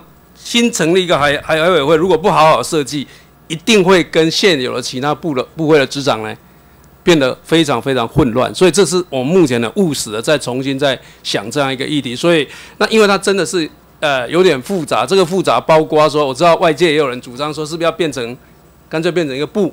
哦，类似这样一个概念，不过呃，我们就务实来看这个事情。然后我我希望在未来这一段时间里面，继续呢启动这部分我们内部的一些讨论，也跟外部做一些讨论，然后再做一些规划。不过大的原则，我刚刚已经讲过，我们都希望能够在明年的那个九月那一个会期呢，能够把这些事情呢做一个呃一个一个初步的一个看法，然后能够顺利的把这个法案送到立法院来。好。跟是人事长说明了，我是支持成立部的了哈，因为有专专责的一个机构哈。那呃，为什么我会认为其实，但人事长也许现行的这个好像也可以运作，但是呃，我之前担任过呃高雄市的海洋局长了，这也是全台湾唯一的一个海洋局了哈。那事实上面临到很多问题，因为对上来的窗口的时候，事实上是几乎是呃很难很难找到，比如说它的这个环呃。保育的事务对上来是环保署了哈，但环保署有些上次我不知道记得。署长还曾经在离开职务之前还讲说，哦，他管不动这个，他没有船，环保署完全没有船，所以他管不动哦这个呃油污的一些事件。所以其实每一个它散居在每一个小的点的时候，其实真的是让我们虽然号称是一个海洋国家了哈，我们虽然四周环海，但是我们在海洋这一块确实是非常的弱，包括我们的呃不管是甚至于现在新的观光休憩的部分，你对到。交通部公安局去公安局说这不这不是我的事情，因为我深切感受到我在争取经费补助的时候，他认为我对下来只有市府的公安局啊，地方政府的公安局，海洋不归我的事务，海洋休闲。那你说港务局，那更不认为他是他是管理港的港的工作哦，所以其实很多的善。那至于渔业署对上去渔业署，渔业署大概做的都只是在工程，现在都是渔港工程的这个。这个补助而已哈，所以你看大笔预算几乎都在渔港工程，那更不要讲那游轮归归谁？现在慢慢趋向游轮是给观光局的啊。那那游艇的推展，哦，我们游艇这么强，然后呃，在国内的这个旅游市场还有很大的空间，休闲事业，那游艇归谁管？游艇现在是没有人负责的，好，所以其实做了海洋休闲事务等等这些，我认为有非常多的工作要做，但是那他唯一一定要是成立一个专责的单位的时候，他才有办法达到一个。好的一个效果了哈，但我当然刚听到人事长这边提到明年九月，我想这个期程我还可以接受，但我希望那个加快那个呃沟通跟整合的速度了哈，因为呃这个事情它一定是需要一点时间去沟通哈，做成一个好的制度，如果不及早去启动的话，那未来即使成立的不管是海洋委员会还是海洋部哈，它出来之后如果功能不彰哈，或者思考不够紧缜密的话，哦，我想大家也都有相当大的压力。不我个人还是倾向是。思考好，能够如果因为呃委员会的组织的，我请教一下那个好人事长啊，你委员会跟部你的思考点，这样子差别在哪边？部概念上部还是要多做，不管是政策拟定，它要很大量的执行呐。我们的设计一定是这样，就要在实际操作执行。那委员会原则上我们比较倾向呢，呃，多以。呃，比较跨部会或者政策的思考架构，但是以现在的执行上，有些委员会也负责一些执行的工作了。不过不管怎么讲，这个我想委员您以前在这个高雄这个海洋局担任过一个经验，我想真的也可以提供我们在思考这个过程的一个参考。好，谢谢市长。我我想我为什么认为是因为原先的委员会的规划，好，他原先的委员会的规划里面是把甚至其他的各部门的进来担任委员了。那其实我们都知道，那个其实效果。那个其实效果是不佳的，抱歉，麦克风有问题吗？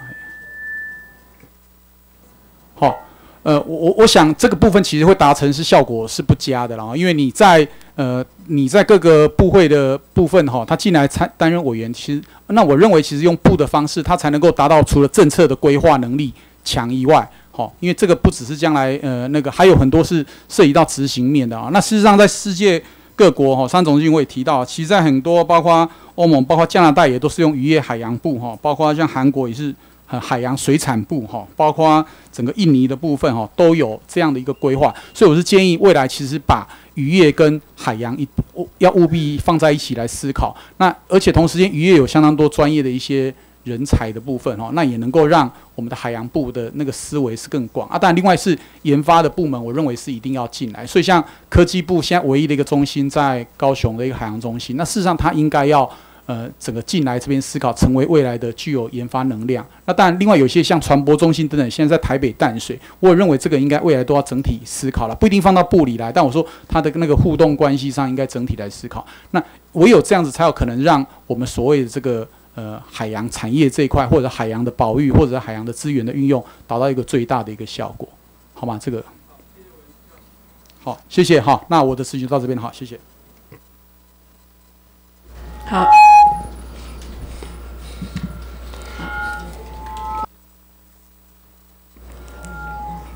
谢谢赖委员。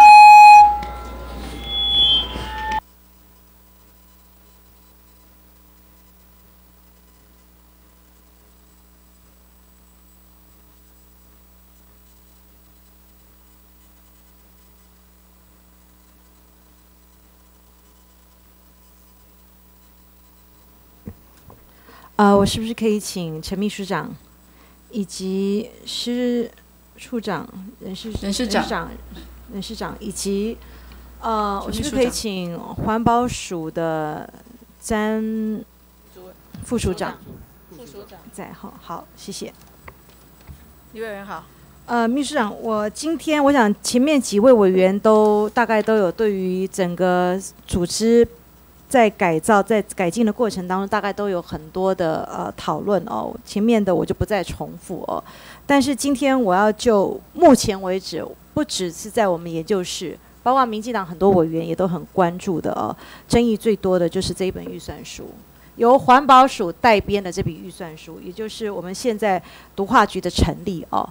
呃，我先请教秘书长，现在我们组织编制里面已经有没有毒化局这个单位？毒化局是为明年呃规划中的新设立的机关。哦，明年才要成立哦。哎，他的那我这预算书收到，如果按照组织编制，按照预算法第四条规定的话，九十二条规定的话。那因为他是，我是不是应该要退回啊？我我是不是请那个人事人事长告诉报告一下那个整个组织法规的部分的处理，好不好？那个那个处长，你你不需要跟我报告，但是如果这个单位还没有成立，我立法院所有委员都先收到这本预算书，你这个不，你这个不是让我很混乱吗？没有，他他是根据行呃基准法。的条文里面用暂行组织规程已经先成立的一个，就是已经通过那个暂行组织规则。好，我先请问你，我先请问你，从过去三亿多的预算到今年六亿的预算，又有主管配车，又有出国考察费，这个叫做暂行吗？呃，一般的组织编制会有这些预算吗？呃，有主管坐车哎。跟委员报告，我想就组织的立法上，它确实是有用呃暂行组织规程的方式，然后送立法院备查。之前呢，呃，我们在港之前为什么没有主管坐车？哦，这细过去的预算规模没有那么大，你从三亿多膨胀到六亿多，我现在先不去跟你讨论它有没有它的必要性。它是一个三级，但是现在送进来送进来立法院，目前你是用三十六条，三十六条哦，它是一个临时组织编制的单位哦，但是它的法规也还没有过哦，是还是有环保署代编的哦。跟委员报告，它不是一个临时性的组织，它是用暂行组织规程的方式。那这个组织规程是一个行政命令，然后报立法院它还没有通过嘛？哎，没有没有，它是一个行政命令，所以行政院通过。发布它其实就生效了，那送给立法院备查。还有组织，它是一个毒化局。那我先秘书长，毒化局这个单位到底通过了没有？组织编制到底通过了没有？送进立法院通过了没有嘛？组织规程的部分是算通过了。那你送进来立法院了没有嘛？你没送进来立法院就叫做还没通过嘛？送给立法院不是审查是备查。它的性质是这样，那就是你不尊重立法院，没以后就是你们自己闷着头干就算了。以后说送进来备查也不用同意，你就免了，就不用送备查啦。你如果这样子讲的话，委员误会了，就是这个从我们行政跟立法应该是互相尊重的。秘书长，我要提的是，我并不反对成立毒化局，我个人非常的支持，我也认为有它的必要性。但是你们预算用这样的编列方法，事实上是有问题的。今天，如果你觉得非常重要的话，你们去年、你们今年一开始优法案的优先预算当中，你就应该送这一本，你应该是先从他的组织编制先来过，你后面预算要怎么去谈，那是另外一回事。要不然你不是变成让我立法院在审这笔预算？我不是你是黑机关，我不是违法审这笔预算吗？按照预算法九十二条，你不是让我违法吗？跟跟委员报告一下，我们刚刚同仁查了一下，立法院对于我们这个组织规程在十月五号已经被查了。好，那他事实上就已经送立法院，我立法我卫环委员会还没有审到嘛？你还没有让我审到嘛？好，被查，他们还没有被查吗？还没有开会讨论这笔预，还没有开会讨论通过嘛？是，好你这个行政程序，秘书长，我现在是先跟你讨论行政程序上的瑕疵这一件事情。那我们所以大家，秘书长，我要提醒你的是，我看到这笔预算，大家都觉得非常压抑。这个组织编制还没有过，你就送这笔预算进来。我刚才强调了，我个人本席非常支持毒物毒这个毒化局的成立。我觉得在十安五环当中。在蔡英文总统政见当中，我个人也觉得非常支持，因为毕竟现在大家国人对于食安的重视，包括未来现在大概只有八百多种这个呃检验总数，我也认为有必要再持续的增加，包括你们接下来有可能要开放日本的这个福岛食品进口哦，包括未来你们可能要强行通过的瘦肉精、猪肉也要进口。我个人当然认为有它的必要性，但是我要今天要问这个议题，最主要凸显的是，你们用这样的行政程序瑕疵，把立法院也认变成一个违法的单位在审这笔预算。如果我先通过这个礼拜开始，因为总咨询已经结束，我先审理预算通过的话，我我也变违法哎。组织编制没有过嘛？按照按照你这个又有主管坐车又有出国考察的费用，这绝对不是依照三十六条一个常设临时的单位在里头。呃，我想三十六条应该不是一个常设跟临时。我想这个部分按照三十六条，一级机关因应突发、特殊、新兴之重大事务的设临时性、过渡性的机关。这个毒物处过去在环保署底下一直都是三亿左右的预算，每一年。如果你今年要从三亿扩大到一倍六亿多的预算，我就不认为它是我应该是用一个临时性的组织来去看待它。它是一个三级机关，我知道你们有送进来，但是你送的程序就是有瑕疵、有问题的。用我用我用毒物局这件事情回过头来去探讨，你们现在行政院打算要组织编制要重新改组的，包括你们现在未来这常这个这个常务官的任用也可以改成政务政政务官派遣派遣这件事情双轨。我觉得第一件第一件，我想其他委员也都有提到。文官体制的破坏，哦，未来专业的意见，过去长期专业的意见，如何在行政院各部会底下，大家能够有更更大更多的发挥，敢于就他的专业出来说话，否则的话，未来都改成政务派用的话，难免就有可能，按照我逻辑来讲的话，难免就有可能推成我主要我只要迎合行政院各项重大政策，只要符合所谓。每个礼拜一晚上开会讨论的执政决策平台的方向来去决定就可以了。这个是破坏现有的文官体制。呃，跟委员报告，我想即使是有部分的职位未来会政务跟常务双轨制运用，文官还是继续会扮演他应该有的一个角色。那你会对啊，人不会减少了，但就是说原来的文官不会减少，政务派任会增加。呃，适度的。要增加多少的预算？增加你有没有算清楚？增加多少的预算？蔡英文总统还没上任之前就在讲，国家裁员很辛苦，我们要赶快做年金改革。你一手在喊国家财政很辛苦很辛苦，但是一手你又在增加员额编制，事情都还没做好就增加这么多人，你这个逻辑不是让不是让大家觉得非常的奇怪吗？呃，跟委员报告，我想主要还是呃，我想增加的钱应该是呃会有一些，但是应该是占整个比例上应该是不大。最重要是能够也呃一方面也让我我我要跟你讲的是，跟你。你你讲说比例不大哦，这句话站在我立法院的立场，我就绝对反对。每一块人民的纳税人钱，我们都有权利，我们都有义务要做更好的把关。那当然。你现在要增加过去。没有，包括有立委提案，包括要增加这个呃部会里面的政务次长的这个再再多增加一个员额，在我看来过去都能做，你为什么现在不能做？你增加了之后要发挥多少的功能功效？它的必要性在哪里？我都觉得势必要交代清楚。我不是反对，但是你有没有必要要有义务？我觉得你们有责任要交代清楚。你现在事情完全还没做好，你要增加这么多员额？那我们我我们只是提我们在提供这个大方向下，会务实的去规划跟适当的一个一个职位，才改成。你现在话当然都可以那个那个双轨制。啊，你现你你现在话都可以说的很好听，我只是非常的奇怪，是过去能做，为什么现在不能做？我想这个提案在过去也有提议。但过去，过去你不能让过去提，过去有提，但是过去没有做，过去能把事情做好。那你现在你要增加的话，你事情能能能效益能够增加多少？这个算盘我要打得很清楚才行啊，不然我立法院这省什么预算啊？你要交代清楚啊！光光是这个黑机关的编编列预算的方式，我都觉得你们现在行政院真的是，真的是先先射箭再画靶，说不定你现在局长的人都已经找到是谁了。你你现在打算增设这二十几个增加任用的政务任用的这人选，是不是都已经有了？事实上，按照这个逻辑，我也完全没有讨论这这个部分。当然不是你可以决定讨论的，决决定讨论都在礼拜一晚上决定讨论的，怎么可能是在你你你你的你的会议上讨论的呢？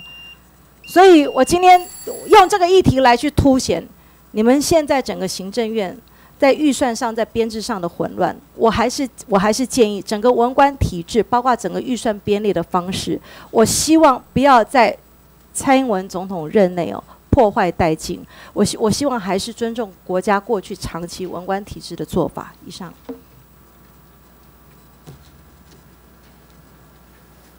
好，谢谢李委员。好，张立善，张立善，张立善委员不在。林俊宪，林俊宪，林俊宪委员不在。廖国栋，廖国栋，廖国栋委员不在。严宽恒，严宽恒，严宽恒委员不在。陈赖素美，陈赖素美，陈赖素美委员不在。陈明文，陈明文，陈明文委员不在。吴志阳，吴志阳，吴志阳委员不在。邱志伟，邱志伟，邱志伟委员不在。孔文吉，孔文吉，孔文吉委员不在。吕玉玲，吕玉玲，吕玉玲委员不在；马文君，马文君，马文君委员不在；黄昭顺，黄昭顺，黄昭顺委员不在；江启成，江启成，江启成委员不在；何新纯，何新纯，何新纯委员不在；简东明，简东明，简东明委员不在；陈欧破，陈欧破，陈欧破委员不在；郑运鹏，郑运鹏，郑运鹏委员不在；卢秀燕，卢秀燕，卢秀燕委员不在。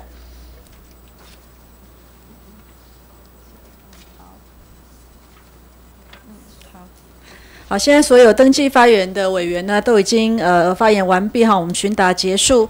委员质询的时候，如果有要求提供相关的资料，或是以书面答复的，我们请相关的机关尽速的送给个别委员哈，包括我们本会。那由委员马文君、江启臣、张立善委员提出书面质询，我们列入记录登刊登公报，并请相关的机关呢以书面来答复。